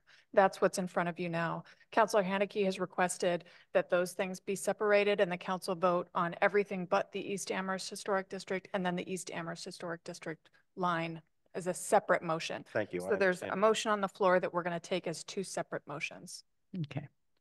And Do- so we- it's, are there other questions? George, you have your hand up. I don't think so. Okay. So let's vote on the East Amherst Local Historic District line first. Can we take 30 seconds and just make sure we're all on the same page? Yes.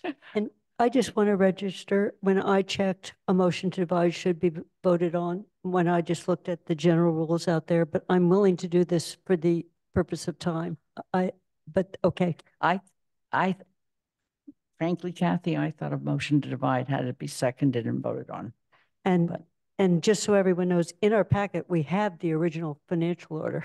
Right. You know, not just the one with the strikeout. So, okay, I'm willing to do it because I want to move on, but I, this thank is you. crazy. Okay. Are there any other questions or comments? Yes. Okay, Yes, yes, George. sorry.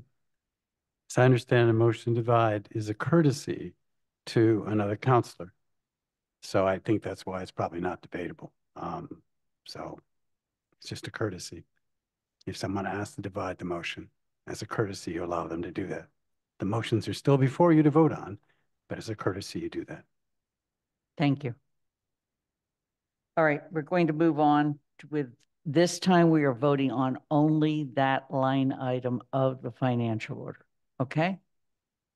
Yes, the East Amherst Local Historic District in Prince Study Committee. Okay, Lynn Griesemer is an aye. Councillor Hanneke, No. Bob Hegner, Aye. Councillor Lord. Absent. Uh, Pam Rooney, Aye. Councillor Ryan, Aye. Kathy Shain, Yes. Andy Steinberg, Aye. Jennifer Taub, Yes. Councillor Walker, Yes. Pat DeAngelis, No. Ana Devlin Gauthier, Aye. Councillor Ette. Aye. The vote is ten in favor, two opposed, one absent. We go back and now we are voting on all the rest of the financial order. Okay? Any questions? George? Your hand is still up. All right, this time we're going to begin with Councillor Hanneke. Aye. Bob Hegner, Aye. Councillor Ford. Absent. Pam Rooney, Yes. Councillor Ryan, Aye. Kathy Shain, Yes. Andy Steinberg, Aye. Jennifer Taub, Yes. Councillor Walker, Yes. Pat DeAngelis, Aye. Ana Devlin Gauthier, Aye. Councillor Ette, Aye. Lynn Griesemer's an aye. And I think I made it through all. It is twelve people in favor and one person absent. We are going to move on to the re- bylaw three five zero rental registration bylaw, regulations and fee schedule. This is a first reading. We will, if so- possibly, vote next week on the eighth. Uh, so that I'm now calling on CRC Chair Pam Rooney. A point of order, I, I just want to note that there was a motion on the sheet that's a moot point now that the Finance Committee had recommended. We didn't speak to that, but I'm assuming that the council doesn't want to take up that motion. I'm sorry, what? The council had recommended that the uh, community, that the council requests the Community Preservation Act Committee work with the East Amherst Local Historic District applicant. There's a motion on the sheet for that. I'm saying that it's moot and we're moving on. Just wanted to make a note of that Thank you. because you're not voting on it. I just looked down and saw the motion. Thank you. All right, we're moving on to three point five zero rental red, rent, regis, residential renter bylaw regulations and fee schedule. And I'm going to call on CRC Chair Pam Rooney. We also have, um, I don't even know if he's going to still join us. Um, Bob Morra is ava- available at some point, but David Ziomek is also with us. Um, Pam, Thank you. And can you hear me without punching over my thing? Okay. we can hear you. Uh, before I even start, and thank you for putting this up, can you share screens with, so I can actually see it? Thank, great, thank you. I do want to re, um, respect and thank the members of the CRC starting in 2022 and the members of the community who have weighed in on this essentially since day one. And I, I see one in the audience. Um, and I do want to thank Tom Crossman for being a devoted follower of this topic. So starting out residential rental property bylaw 3.50. This is an update coming from the Community Resource Committee. It is our first reading. Next slide. Back in 2023, town meeting adopted a rental registration bylaw. There was previously no tracking of rental units. The permit was uh, required, but it was a voluntary self-certification for health and safety compliance. Over, uh, since 2023, we have seen increasing numbers of especially single-family homes converting to rentals. The number of permits, however, started to drop, indicating non-compliance. The program itself was primarily complaint-driven. So at the start of the 2022 council term, four councilors sponsored the update of this bylaw. Town council referred the task to CRC on March 21, 2022. Thank you. Next slide. The goals that were identified uh, by the by the CRC as and and the councillors sponsoring as we began to put it together were a to protect the health, safety, and welfare of residents, implement a proactive inspection program instead of relying on self-certification of compliance. Monitor and enhance compliance for basic life safety through the licensing. Also provide clear and accessible guidelines for the operation of rental properties for tenants, owners, landlords, and neighbors. Ensure awareness of and responsibility for other related town bylaws and to identify rental units on an ongoing basis. Next slide.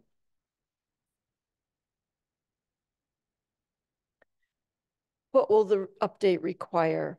So it's a very complex bylaw. It's fairly extensive. But in essence, what will it require is that all rental units get a permit from the town or face a penalty. The exemptions are hotels, motels, and group homes.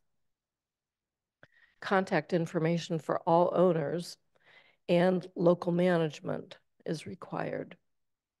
The management plans, such as trash, parking, maintenance of grounds, would be required rather than self-certifying that these would be met. Today, we do not have we do not have many situations with management plans. Um, once in a five-year inspection for health, fire, building codes, and added town bylaws rather than complaint-driven or emergencies only. Tenant information sheets, which do occur now, but with key local regulations, reminders of bylaws including noise, alcohol, and nuisance, and reflection of state laws and codes that apply to rental properties. Also, an, a comprehensive appeal process was created. Next slide. Lots of public outreach and engagement. I want to thank Shalini Bahl-Milne at this point for her survey that she put together that went through Engage Amherst.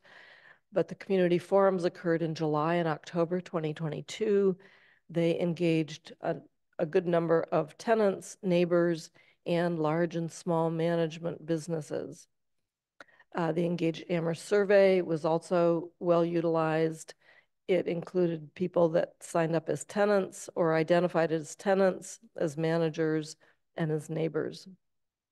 We did receive a letter of concern from the Landlord Association, especially regarding the inspection requirement.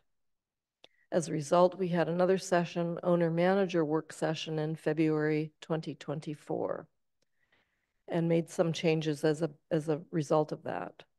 We also got ongoing public comments in regular meetings. Next slide. The process was long.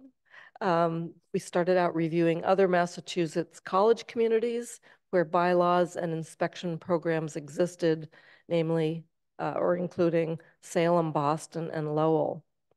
We engaged with the building commissioner and senior inspector on a, on a, on a constant basis, um, reviewing and understanding current and potential practices. it's, we separated out nuisance bylaw concerns to update in a parallel track. So that is not linked specifically to the rental bylaw. Uh, it, it went through legal review, GOL review, and that input was addressed in text changes. There is consideration of fee structure that went to finance committee and again, uh, came back to CRC. And finally, the, the proposed implementation plan and final text reflected the input of that im- implementation plan. Next slide. The fee structure tried to keep the fees the lowest possible and for the largest number of units, which is primarily the single-family units, um, but still cover the cost um, by using about two-thirds of the uh, special strategic partnership agreement funds that came from UMass for this purpose. Uh, the owner occupied parcels would remain at $100 a year, all other parcels at 150 a year plus 100 per additional unit, up to a max of just over $1,000 per parcel. And a parcel could have 40 units on it, it could have 10 units on it. Um, but again, this is a per parcel permit. Inspections, we set at $150 per unit. Next slide. I don't know if, I don't know if Rob Morra is in the audience. At this point, I was going to pass this over. There he is. Magically appeared. Uh, I would like to introduce Rob Morra, who was um, extremely helpful in helping formulate and, and um, formulate this, this bylaw. So I'm going to turn it over to Rob. Thank you. Thank you, Rob Morra, Building Commissioner. Uh, so I'm going to talk a little bit about an implementation plan uh, should the council uh, adopt this bylaw and it, it go into effect later in April. Um, this is a uh, inspection program that is uh, accomplished over a five-year period. But what I'm going to describe to you right now is a six-year implementation uh, for that first year being uh, a way to roll out the program and phase into a fully functioning program, fully staffed program. Uh, and, and as mentioned, uh, the strategic partnership agreement uh, dedicated $100,000 for supporting safe and healthy neighborhoods. Uh, the town manager has committed uh, those funds to support this program should it move forward.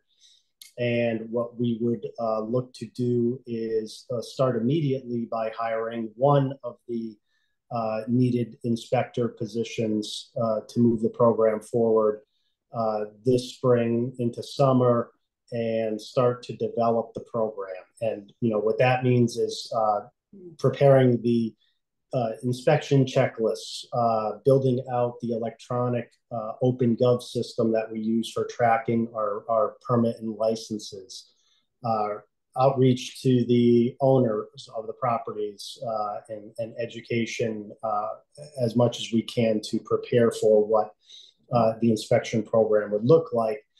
With the, the intent of starting some inspections in early 25 uh, to, to get things moving, to start to work out any issues and uh, build that system uh, for a fully fully scheduled uh, inspection program uh, starting in July of 25.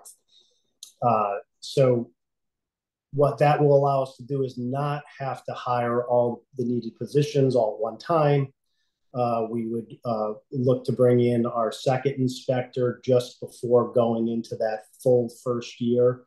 Uh, so a year from July, uh, we would be ready for that. So leading up to that, that you know, being prepared for that time, we would bring in the the, the rest of the staff, and the goal would be to um, complete the first five year inspection in, inspection cycle by July of 3030, uh, 2030. Thank you.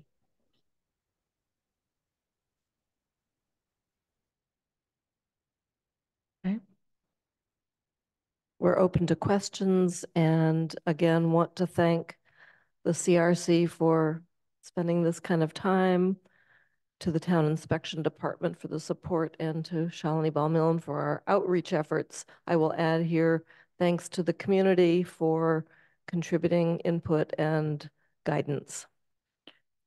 I might also mention that I believe this is the third time this has come to the council. The other two times it was referred back to CRC with a lot of work has been done along the way. So um, thanks to some councillors that are no longer even on the council, as well as the councillors who are on the council. Uh, George, you have your hand up. Yeah, um, it seemed that during the, near the end of the process, some concerns were raised by local landlords. And if I read that timeline right, there was a further meeting. And I'm wondering what, if any, changes were made to the bylaw to meet those concerns.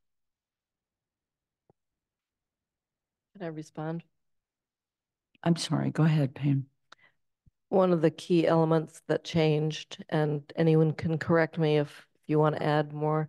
Uh, one of the uh, elements that changed is that um, we decoupled the nuisance bylaw and the um, having three uh, violations of a nuisance bylaw actually disallow someone, potentially disallow someone from getting a permit um, to, to rent the building.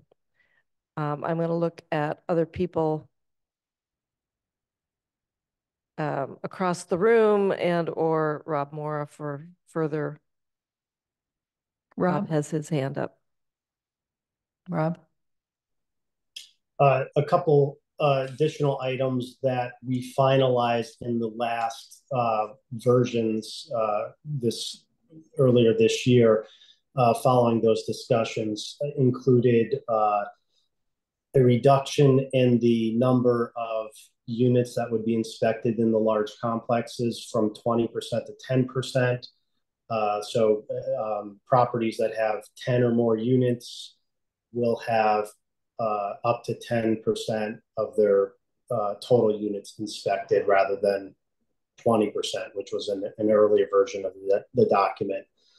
Um, we also um, had decided that uh, certain properties that undergo inspection either by their uh, mortgagee or insurance requirements that are uh, conducted uh, perhaps by a federal program inspector uh, could satisfy the inspection requirements as long as those have been done within the five years and we would uh, we would allow the uh, the owners of the properties to submit that information and, and request the waiver of the inspection for those reasons. Thank you. Mandi Jo, did you have something to add to that? Yeah, um, in short, anything in the tracked changes marked up version that is marked up is what was changed in response from December to that. So, so that's why there's a track changes version. Um, it can show you what was changed. But the other thing I would add is within the bylaw itself, um, I think it's the bylaw, but it might be, no, it's it, under the consent section, there was a tenant authorization section added um, that the tenant may specifically um, deny access to the dwelling unit um, for that that inspection and and how that is done and what and whether a wh whether and what permit is issued if the tenant specifically denies access for that required inspection. So that was also a, one of the big specific things response responsive to the landlord concerns. George? So a tenant may deny access. The property still will be inspected, but not that particular unit. Is that, am I understanding that basically? So it, it gives the tenant a certain right, but the building still, or another unit of the building will be inspected? Or could- Unless there isn't another Yeah, unit. exactly, there could be. As long- yeah. And then that's just, that's just too bad. Right. Okay. I have one other question. I, I might, a very broad one, and, um, but it sounds like someone can lose, a landlord or someone who's renting in Amherst can lose their right to do that under certain circumstances, correct? I mean, there's many, many ways to remedy it. and they're spelled out in the, in the bylaw. But it is possible that at some point, all the remedies have been exhausted and you just won't be able to uh, do business in this town. Is that? For that property. Specific to the property, doesn't mean you may own other property, and so you could still those properties. But for that particular property, I'm just kind of trying to get a handle on what, is there like a, um, a, a death penalty here, so to speak?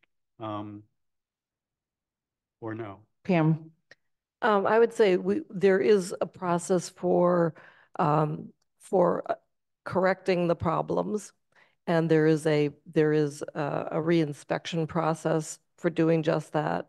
Timelines are given. And um, I would say it's probably extremely rare that there, that there would ever be a shutdown unless the building was in such deplorable condition that it should not be in, inhabited.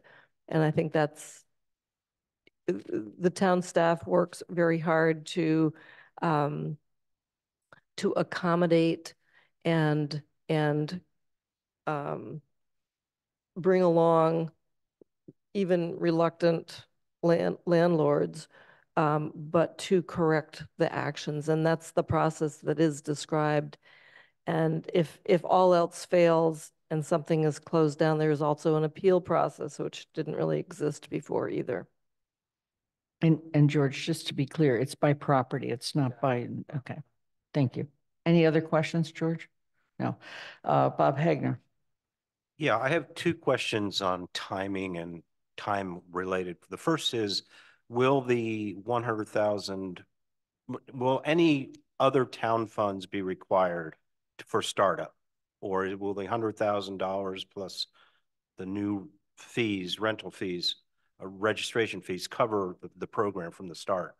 And then after the five years, when the $100,000 sunsets, will we need to raise the inspection fees? And if so, will that require a change in the bylaw?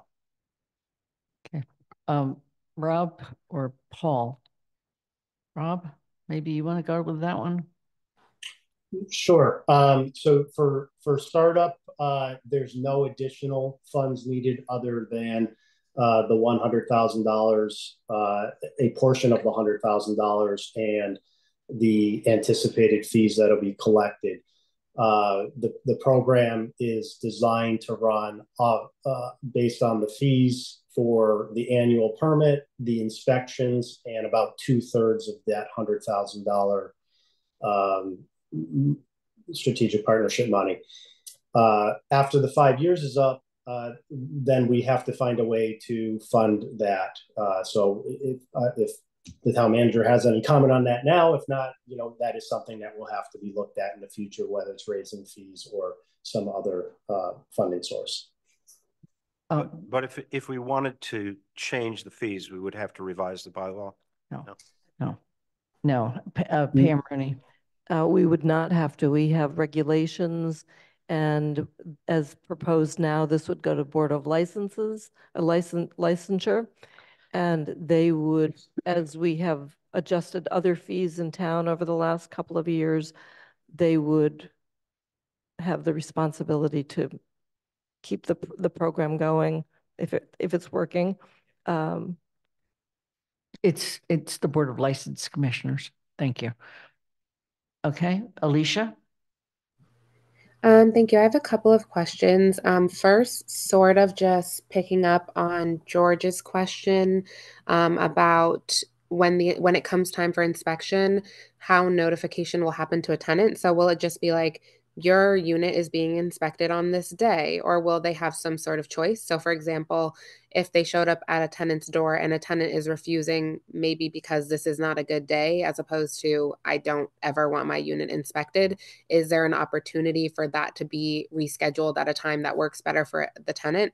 Or is that possible to be coordinated beforehand so that doesn't occur? Rob do you want to answer those Yes. Uh, we anticipate the scheduling of inspections will happen pretty far in advance. Uh, so it'll be a known schedule. it will be the responsibility of the owner or, or property manager to coordinate and give notice to the tenant. And I would expect um, we'll be prepared for, uh, you know, all kinds of things to happen, including uh, uh, being, uh, you know, showing up to a property to conduct an inspection and perhaps a unit, uh, a tenant of a unit for whatever reason does not want to have us in there that day. We can schedule, uh, we can put it into a different uh, cycle for another year if it's uh, a tenant that just doesn't want to have the unit inspected. So we will have, um, you know, we will have protocols in place to deal with uh, all of those situations. Okay, thank you. Um, and I just have one more question and one comment. Um, my next question is, is there any way to prevent or monitor landlords from passing down the expense of the fee by increasing rent?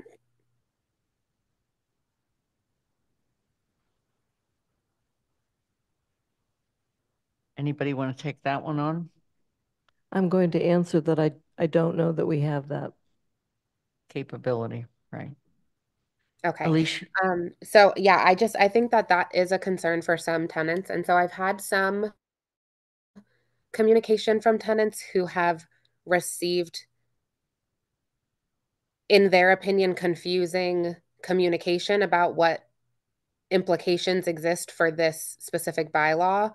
Um, and I've been reached out to by a number of tenants who have received communication directly from their landlord that tells them this bylaw is going to do things that it's not actually going to do. Um, and I think tenants, some are, you know, for lack of a better word, freaking out about it. Um, and so I am hoping that we can find uh, another way to do some more robust outreach because people are concerned that their rent is going to go up. People are being told that they're going to have no choice as to whether or not uh, their unit can be inspected. And they're also being told that, you know, uh, town staff will be able to come and inspect your unit whenever they want. And tenants should go to the town council meeting and tell them no.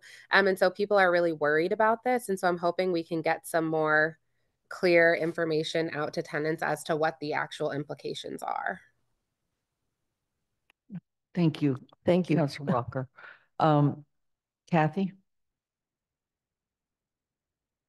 First, I want to say I appreciate how long many of you on CRC have worked on this. Um, and my concern from the beginning, because um, I was almost an initial sponsor, but what I was sponsoring is trying to focus on nuisance houses, um, problem houses.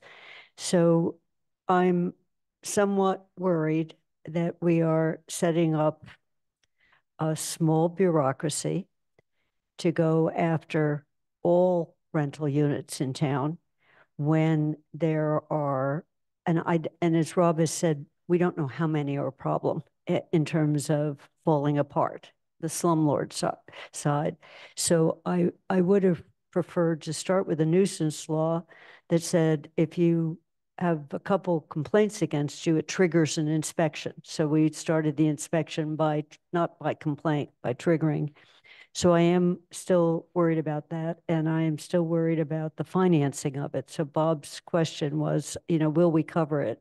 So I think we need to have a periodic assessment on what is it we're actually doing with this. Um, I, I've looked at, I actually pulled a lot of these different laws, and Burlington has a pretty extensive inspection system with a lot of inspectors.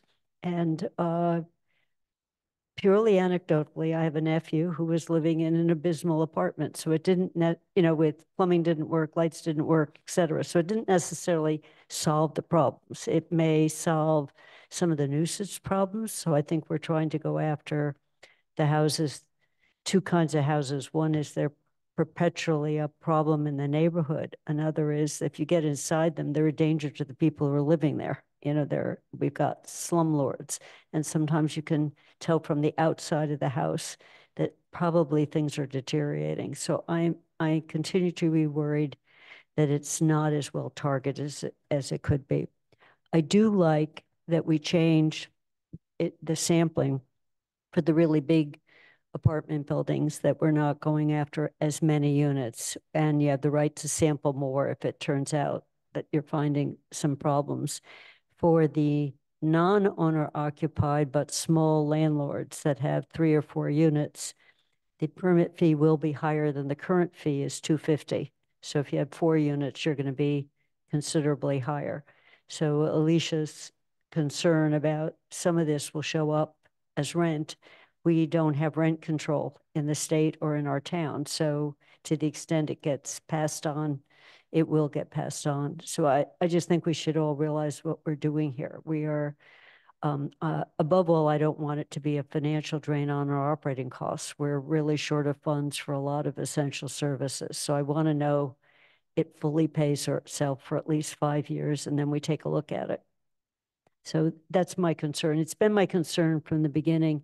I still, I know we, we said we are, we're waiving, if you're already being inspected by federal or state, um, and you show that you had inspection, the wording still doesn't say there is an exemption. It says may exempt or may, may inspect. I've always wanted to move that into the exemption. And I know that the reason CRC didn't is that Rob made strong arguments why it should be left worded. I can't see why we would inspect places that are federally or state inspected. So I just want to lower the number we inspect, not increase. So that may wording is in I1B1.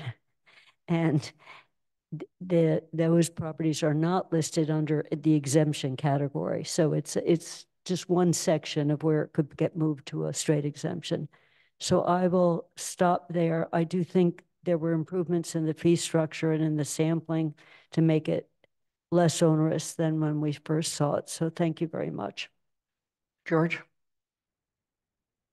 I guess this is for Rob. Um, is there need to be worried about compliance? In other words, uh, one of the points made earlier in the meeting was that one of the motives behind, the, behind this was that the number of permit, permits seemed to be declining and hence people were not actually participating in the program.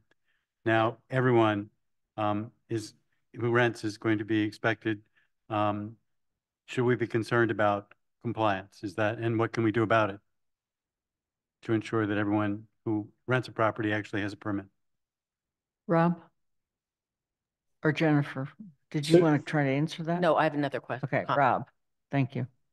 Um, you know, one important thing that's happened in the last two years is that we've uh, we've uh, purchased and implemented a uh, permitting and licensing program that gives us the ability to really monitor, uh, you know, who's receiving licenses and the renewal process and uh, get that information really quickly. And we weren't able to do that before under the older old system.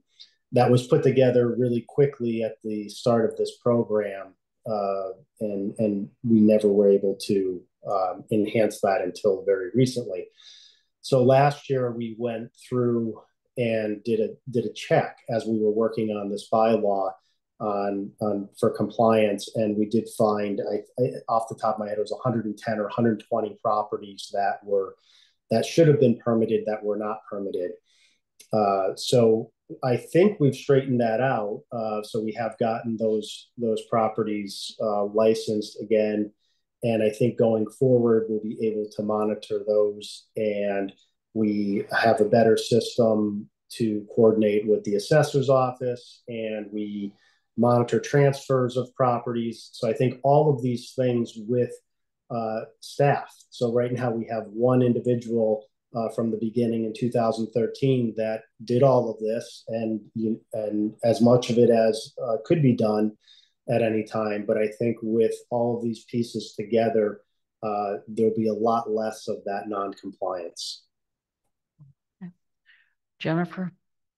Uh, yeah, I just want to respond because Alyssa, um, Alicia raised a really important point, which maybe via our own, if and when this should, um, you know, the council would vote to approve it. Um, that maybe between all the counselors in our mailing list, we could, you know, maybe somebody could even, one of the committees, I don't know if it would be town services um, and outreach, to you know, draft a summary and details of what this uh, bylaw entails so that that could be disseminated to residents um, so that they would have accurate information about the program.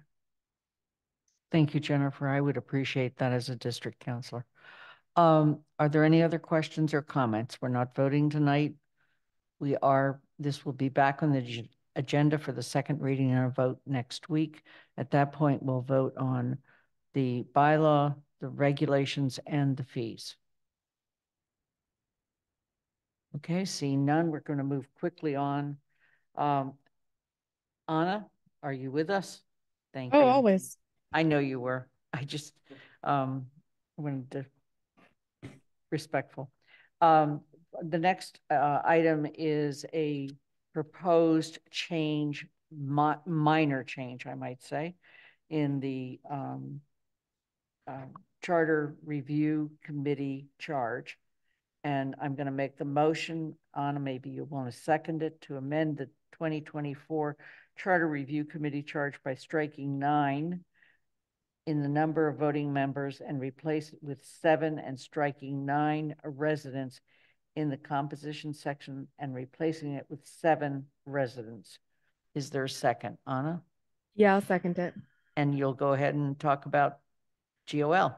I will, and I'm sorry I'm not there in person. I'm not feeling well, and I didn't want to subject you all to me not feeling well. So uh, I appreciate the patience with with letting me zoom in. Um, so this came, and I also want to apologize. The second apology is um, that this is not a written report, and in the future you will have written reports. So I appreciate the grace in in hearing from me right now. Um, GOL has now for several weeks been unable to find the pool for the charter review committee to be sufficient. There is not necessarily a specific formula, um, a specific number we are seeking. However, based on the app, the CAFs that we have received, the community uh, activity forms we have received, we have not, as a committee, been able to um, make that vote and and um, even hold the vote. No motion has been made. Um, so part of this discussion in our last GOL meeting was you know, what do we need to do in order to let this committee get their work started because they have a lot of work to do. Um, and uh, Councillor Ryan suggested possibly reducing the number of members to seven. Um, and and the discussion really centered on nine as a bit of an arbitrary number. Um, there was concern. This was not a unanimous decision from the committee, and I wanted to just bring up some of our concerns. And I also will uh, welcome any other members of GOL who want to add any thoughts. But the concerns with lowering the number include um, melt rate. So we looked at other committees that had um, seen a drop off in, in membership as they went along, as well as concern regarding uh, community representation on the committee. Um, the the committee was divided, but our consensus was really that we wanted the council to have this discussion. Um, obviously, the council would be the one to make the decision, and you know, while every committee member on GOL wasn't set on seven, we we wanted to bring this to you all um, to to talk about it and see if if the council thinks that dropping the number to seven would allow us to get the work done and would result in a um, a committee that is meets the selection criteria that we have established. I think I'll leave it there. If there's anything that GOL members would like to add, I welcome that as well. Kathy? Oh, wait, sorry. Can we, can we go to George first as a GOL member? I'm sorry, add? George. This is a Uh, yes. Sorry, absolutely. sorry, Kathy. George. Yeah, I think we've really struggled to, uh, to get to the point where we can declare the pool sufficient. Um, and I thought this might be a way that we could get there. I think seven is perfectly decent number. Um, it would certainly we'd be able to, I think, staff would get a good body. Um, we're struggling with nine. I, I think we should have at least twice as many applicants, and we're not anywhere close, at least at the moment. I haven't seen the latest numbers, but we're not close to 18. Um, so I felt that by reducing it by two, um, we would be able to move forward. Um, and we could, we could put seven solid individuals on that body. If you want to keep it at nine, um, we're still gonna have to keep looking for bodies, I think, um, because I don't think we're, we don't have enough to make that decision. Okay, I'm going to go to Counselor Ette, who's also on GOL. So seven is a beautiful number, but uh, nine is no less beautiful than seven. Um, I supported the decision to bring this to the council, even though I would prefer nine. The reason being that that provides a greater variety of people who could serve um, in that role. Um, and in speaking and discussing this issue, I think that provides an opportunity for members in town to be to to know of the need that we have, and perhaps that deficit can be covered. But in any case, I think nine just provides a bit more variety than seven does. Kathy Shain. Uh, as far as I can see, and I went this morning to count all the CAFs, we have 16, and um, I may be off in terms of I might have missed one, but I did find 16. So 16 is a pretty healthy number to come to then get to nine. Um, and I, I can see why if you've got one slot open, you would like to have two people applying. But when we're getting to really big numbers, I'm not sure your ratio, George, is as important. You know, so two slots open, is probably a good idea to have four people. But but I wouldn't keep that math going upwards. You know, you can imagine the elementary school building committee, we have 13 people to say that could only do it if we had 26. So I'm not sure I see a strong rationale for reducing it. And I do think one of the advantages of this Charter Review Commission is more people will know what's in the charter and they will also become familiar. There's a limited number of things that can be changed right now. And so that knowledge of what can be changed and what is not being driven by the charter per se, you know, if there's some council procedure that people don't like, it's not driven by the charter. It's just driven by other things, you know, on.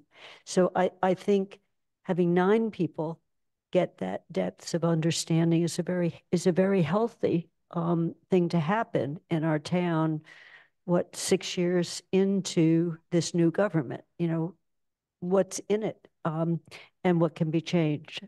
So nine also multiply that by each of them is talking to three, four, or five people. They're not alone. So that also increases the depth of people who are thinking about this. Can I- Sorry, can I step really?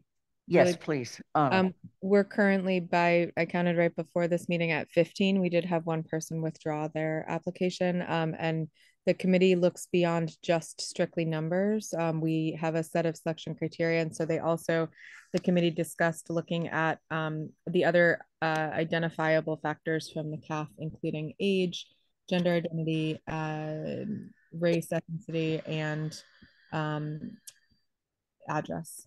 Okay. Pam? I think I would say almost exactly what Kathy just said. If if we had that percentage of people uh, available for ZBA consideration, I would be giddy. And I think um, of the of the CAFs, I I also had tallied up about six, 16 um, and was really puzzled why that didn't seem like a sufficient pool. Uh, I appreciate the, the comment that uh, this does, in fact, give us a broader diversity um, from within the community. I've looked at all the people that that put their names in, and they come with a vast array of background and experience. So I would I would encourage you to keep it at nine and move forward ASAP. Mandi Jo. So I was concerned that nine was too big when we passed this charge about a year ago. Um, and I think we're seeing that maybe that concern is valid. Um, I understand the comments that 15 or 16 for nine positions is plenty. Um, but in my four years of chairing CRC, um, there were many times where CRC voted a pool sufficient for two, three, or four openings in ZBA or planning board because at the time the pool included just CAFs and that pool included for say three openings, six, seven or eight people, or even just six or five. And we said, well, we've got more. But then when it came time for people to actually submit a statement of interest and go through an interview, that number that went from submitting CAFs and saying I'm interested to actually submitting a statement of interest and sitting for an interview dropped. And so if you start with 15 and you're seeking to fill nine spots, you might only end up with 12, 11, or 10. Um, and that's when it becomes very difficult to say then the pool is sufficient, but there really isn't another opportunity to say whether the pool is sufficient or not at that time. You can, but it gets more difficult because at that time, you've already released names of who's applied. And so it is taken, if you're saying now that the pool is not sufficient, a lot of times the public sees that and says, well, you're saying that because you don't like who. Um, and so I, I'm going to support the move down to seven because I would be, I, I'll, I'll be pleasantly surprised if the 15 people who have submitted CAFs all submit SOIs and go through the interview. I will be thrilled, but my guess is that won't happen. Jennifer? Um, yeah, I just don't want to take a lot of time, but I would support, um, my inclination is to stay with the nine. I just feel more comfortable having a broader representation of the com- of the community on such an important committee. Thank you. George? So when you look at the applicants uh, at the current level and you look at where they live, you find out that um, maybe many of them come from, say, district, I won't name a number, but let's say, well, take my district, District Three. So would you be okay with a body of nine people where, say, four of them come from the same district? Or would you expect that whether it's seven or nine, you want to see a pretty even spread? I think you probably would like to see a pretty even spread. So by keeping it at nine, you're going to make it a lot harder for us to get that kind of, of spread. Um, you're going to make it a lot harder for us to declare the pool sufficient. Um, now, other members will vote and we'll make our decision. But I guess in a way, I'm asking you to help us get this body started by reducing the number to seven. You'll still get an excellent pool and it will be a diverse one. But if you keep it at nine, A, we're going to still have the same problem of, of sufficiency. And B, I'm not sure diversity is really going to be helped all that much. Um, so I guess it's a cry for help, at least from one member of GOL. Andy? Yeah, I was just wondering if we could postpone this uh, vote until subsequent meetings simply because the League of Women Voters is having a uh, session about the charter review. And in that process, it could be encouraging people who choose to attend to apply, and we may get a group of additional applicants as a result. And that's uh, now scheduled for this coming Sunday, April 7th. So uh, it doesn't seem like it's a big, uh, big delay, but it might give us more applications and may, might make us feel more comfortable with the nine. Lynn, may I? Yes, Ana. Um, Andy, I appreciate that. The reason why we, I asked Lynn to put it on this agenda is one, the League of Women Voters already had their first uh, meeting of that series. I had, I did reach out to them to ask them to promote this. Um, I do not have a way of knowing if if uh, CAFs correlate to that, but I was grateful if if they did share that um, we wanted people. I'm I am grateful to that. Um, and the reason why we wanted to do it at this meeting is that GOL is meeting on Thursday of this week, and we'd love to be able to take up the topic of the uh, sufficiency of the pool again. So um, hopefully that message was communicated at the uh, league's event on the 17th, and I know they have several more, but I would encourage us not to wait on this topic. I also just want a, uh, clarification. We can declare the pool sufficient, but we can also still accept people. Is that correct? That's correct. We can accept new uh, CAFs up until the deadline for the statement of interest. They would just submit their CAF as well as their statement of interest. Thank you. I thought that Their was deadline our doesn't see policy. anything. Uh, Mhm. Councillor Walker? Um, that information changes a little bit what I was about to say, so bear with me. But um, I mean, I am in favor of staying with nine, um, for a lot of the reasons why everyone else said. But I also think that this is like an incredibly significant group and that we should give them as much time as possible to be working on the things that they need to be working on.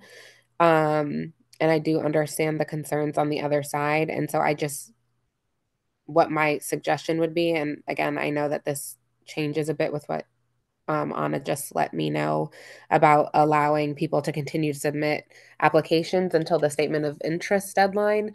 But I would say that, like, I would encourage us to keep it at nine um, and then, like, set a date firm. Like, we will go over this on this date. And is there any other way that we can spread massive awareness between now and whatever? Like, let's say we are going to readdress this at the GOL meeting next week.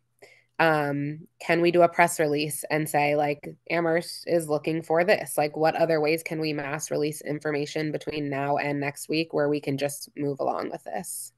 I don't know, but that would be my suggestion. Ana?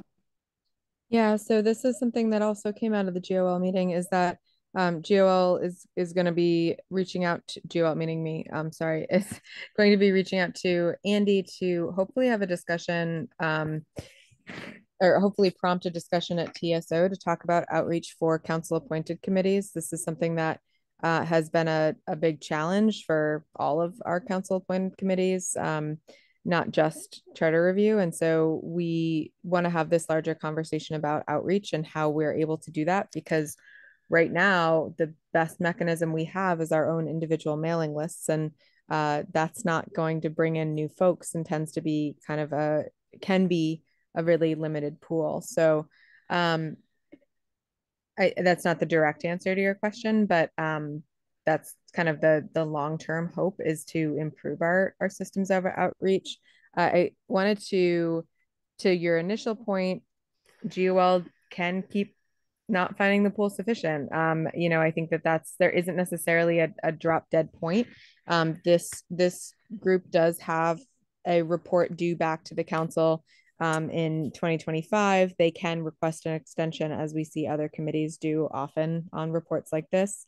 Um, and then I think the only other thing I wanted to say is we keep uh, folks keep framing this this shift of seven to nine, which two people to to be very clear. I know I know that seems like a dramatic shift, but um, two people fewer as as a possibility that we're going to lose diversity on this committee. And I wanted to just raise the alternate possibility that having nine instead of seven might mean that there is more homogeny amongst the group because when we look at the folks who have submitted CAFs, there's a lot of similarity.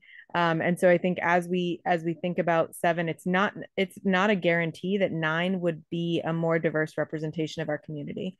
Um, what determines that is our selection guidance, which is what um, GOL did set, and we are seeking diverse diversity on a number of dimensions um, that you're welcome to if you want to look back in our meeting folder. So I just I did want to challenge a bit the assumption that nine would automatically be a more diverse pool based on the CAFs that we have so far. Thanks. Pat? Just a quick question. Is there any reason why we can't change the member, the number of members on the committee to be between seven and nine and then um, move ahead with the pool that we have and see what, who is on it? I don't think there's any reason you can do that. What you don't want is an even number. uh, Ellisha. Um, thank you, Ana. I appreciate that comment, but just in terms of diversity, my thought there, and that was one of my reasonings, and I can't remember if I explicitly listed it because I'm getting tired, but um, I prefer nine in terms of diversity because diversity of thought um, and less about like diversity demographically or like that because no two people really think alike or have the same experience in this town. And also, this is a committee that I would assume is going to do a large amount of outreach or like communicating with the community. And we all have like different circles of people. And so I think just in terms of reaching more people in the town, having the nine, in my opinion, is what I mean by like bringing more diversity to like the conversation that can happen in those groups. And I know two is not a large number, but it could make a huge difference. Like it also has that possibility on the other end. Ana? Yeah, and and Ellisha, my that comment was not um uh directed at you specifically, just to be really really clear. I think it it it could go either way on diversity of thought too. Um, and on networks too. And yes, everyone has a slightly different experience in this town, but one of the things that we are looking for in our selection guidance is that difference in an in um, opinion and, and approach, right? And so I would encourage folks to read through that. It's something that the committee is taking really intentionally uh, into into our process as we go through if we when we finally get to that stage um, but i think as with anything it, it could go either way i think for me it's really about nine is not a guarantee of anything and neither is seven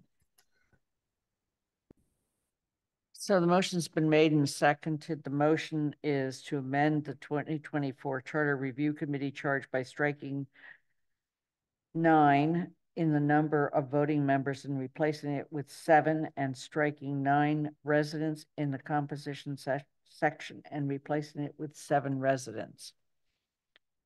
See no other hands. I'm going to move to a vote. Bob Hegner, Yes. Councillor Lord, Um, Lord, no. excuse me. Point of order. Yes.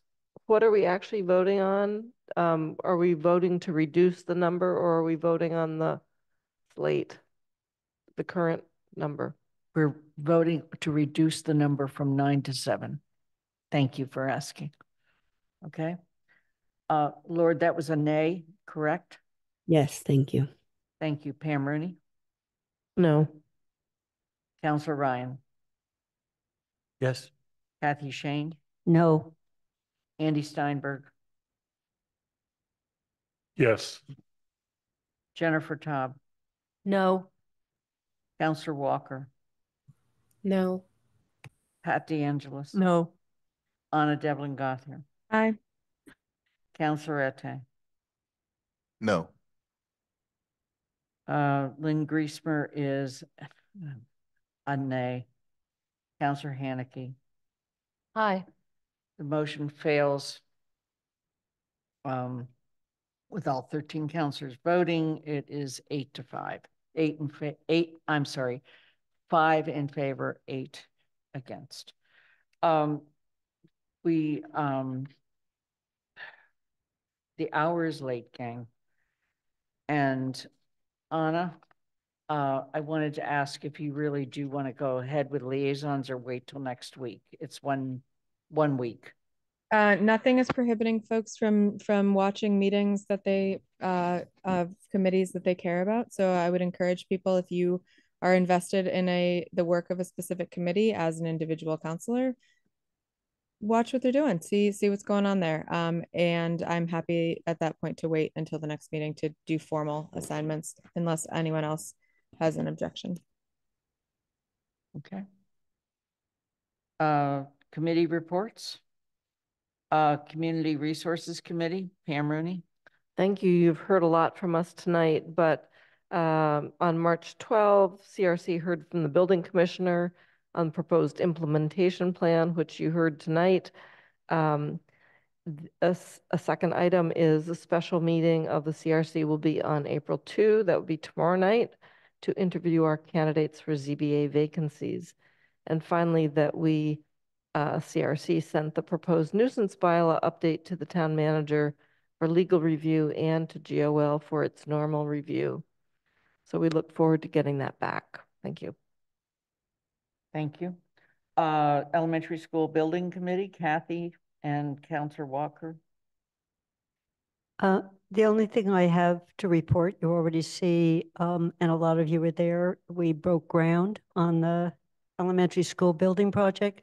But I, I know there, there's going to be traffic changes and pickup changes and the website, I'll send this to everyone later again so you can look at it. It's amherst-school-project.com. We're putting up blurbs, news blurbs on a regular basis and a map. And this is going out to all the um, parents and students.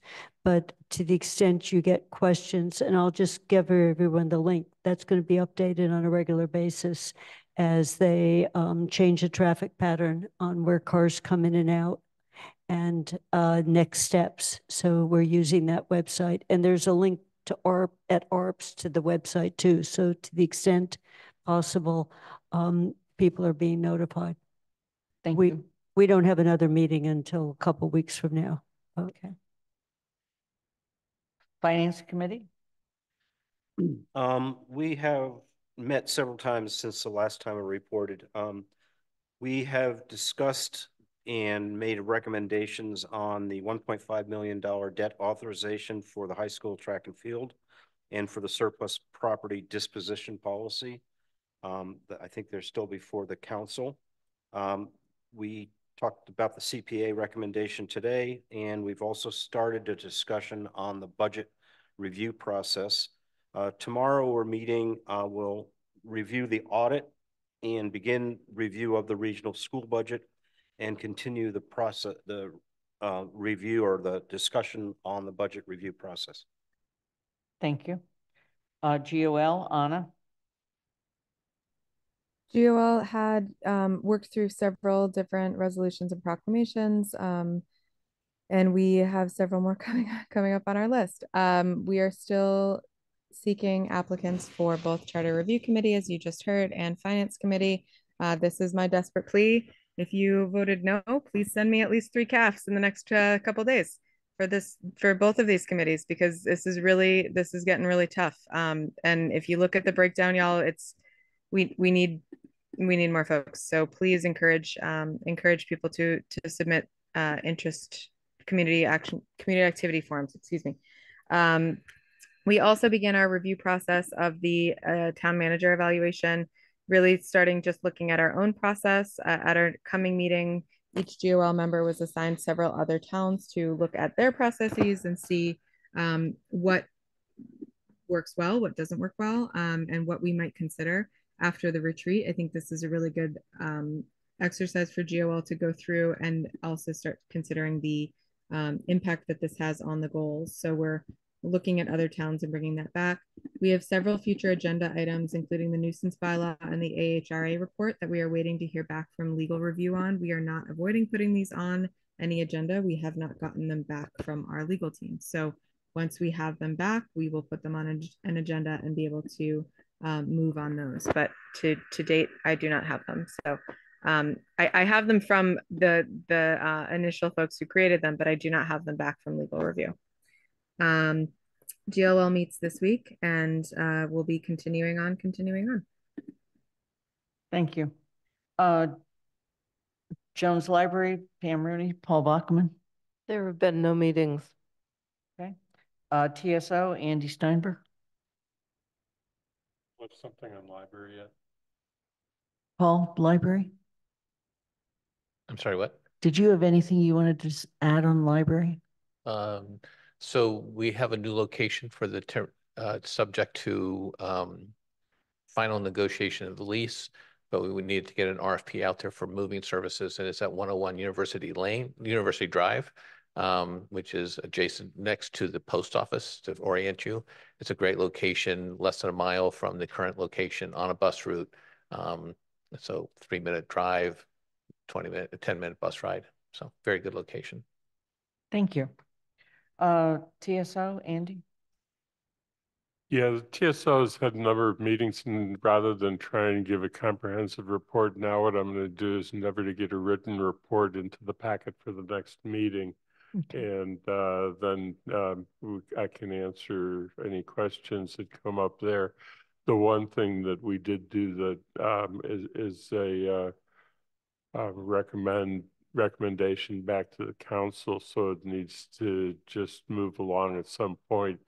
was the uh, approval of a proposal on North Pleasant Street for uh, modifications of uh, mostly sidewalks and bus stops, crosswalks. Um, and, uh, but um, as I say, we'll, um, I'll endeavor to get a written report to you. Save time tonight. Thank you. Um, town managers report, Paul? Yeah, just a couple things. Um, wanted to note that to, uh, tomorrow we have two meet and greets with the um, two finalists for the police chief. One at five p.m. Uh, with Todd Ahern and one at six thirty with Gabriel Ting. Uh, they will also be here for most of the day interviewing with the search committee um, as they continue to have their deliberations. Um, and um, and with me with me with me and with the HR director. Uh, the um, CRESS director has her first day on Monday, April 8th. Uh, we're planning a reception for her uh, when she gets her feet on the ground in the first week or two, as soon as we can get that arranged. And you have already noticed that the North Common has uh, is now under construction again. The, the contractor is eager to get that project up and running and finished and we will, uh, they have a deadline of June thirtieth. So they're making really good progress. The one thing that you'll notice is that the bus stop that is in front of Town Hall is now going to be moved down Main Street a little bit while they do that construction on that, on that curbing. Uh, then it'll be moved, relocated back to where it is. Okay, questions of the town manager? George Ryan. Bangs Center, elevator. It's out of Can, commission. can you tell me the story? I- It's two months? Is that how it's going to be out for two months? Oh, I don't know what the exact Okay. time frame is. Um, it's a long story, I can tell you. but if you'd We've like- got time, Paul. So, okay, um, so yeah, it's, it's been a, uh, it's operational, but not, um, passing inspection. And so there's some water in the pit that they won't pass inspection since they're, um, and we can get the water out, but they want to see a, a waterproofing company come in and waterproof the pit. Um, they're about a month away from being able to come in and do the waterproofing.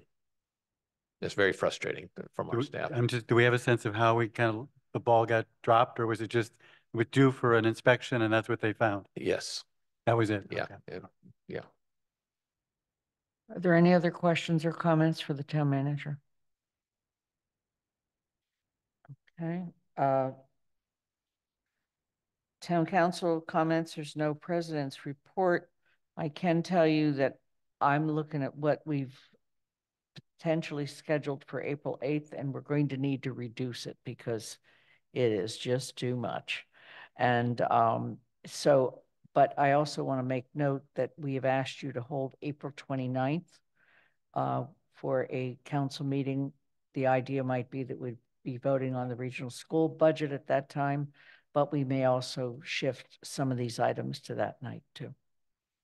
Um, the items that I'm looking at for April 8th, the possible items are, and this is not a promise, update on Hickory Ridge, two resolutions, um, Children's Mental Health Awareness Week and Day, uh, and Jewish Her- American Heritage Month, uh, rent- rental registration, bylaw regulations and fee schedules, second reading and vote, Amherst College sign request, North Pleasant Street pedestrian improvements, Valley Bike, surplus property, um, planning board report on Amherst Hills, nuisance bylaw if ready. I think that would be enough to discourage most people. Um, are there any questions? Yes, George. Uh, Yeah. Andy, I just, uh, you, you reminded me of something that was important that I should have said with TSO. TSO also voted to recommend the, um, sign for, that was requested by Amherst College. Uh, and, uh, since that's on next week's agenda, I thought I should add to my report of tonight just to say that that recommendation was made. thank you. Uh, are there any other councillor comments or future agenda items?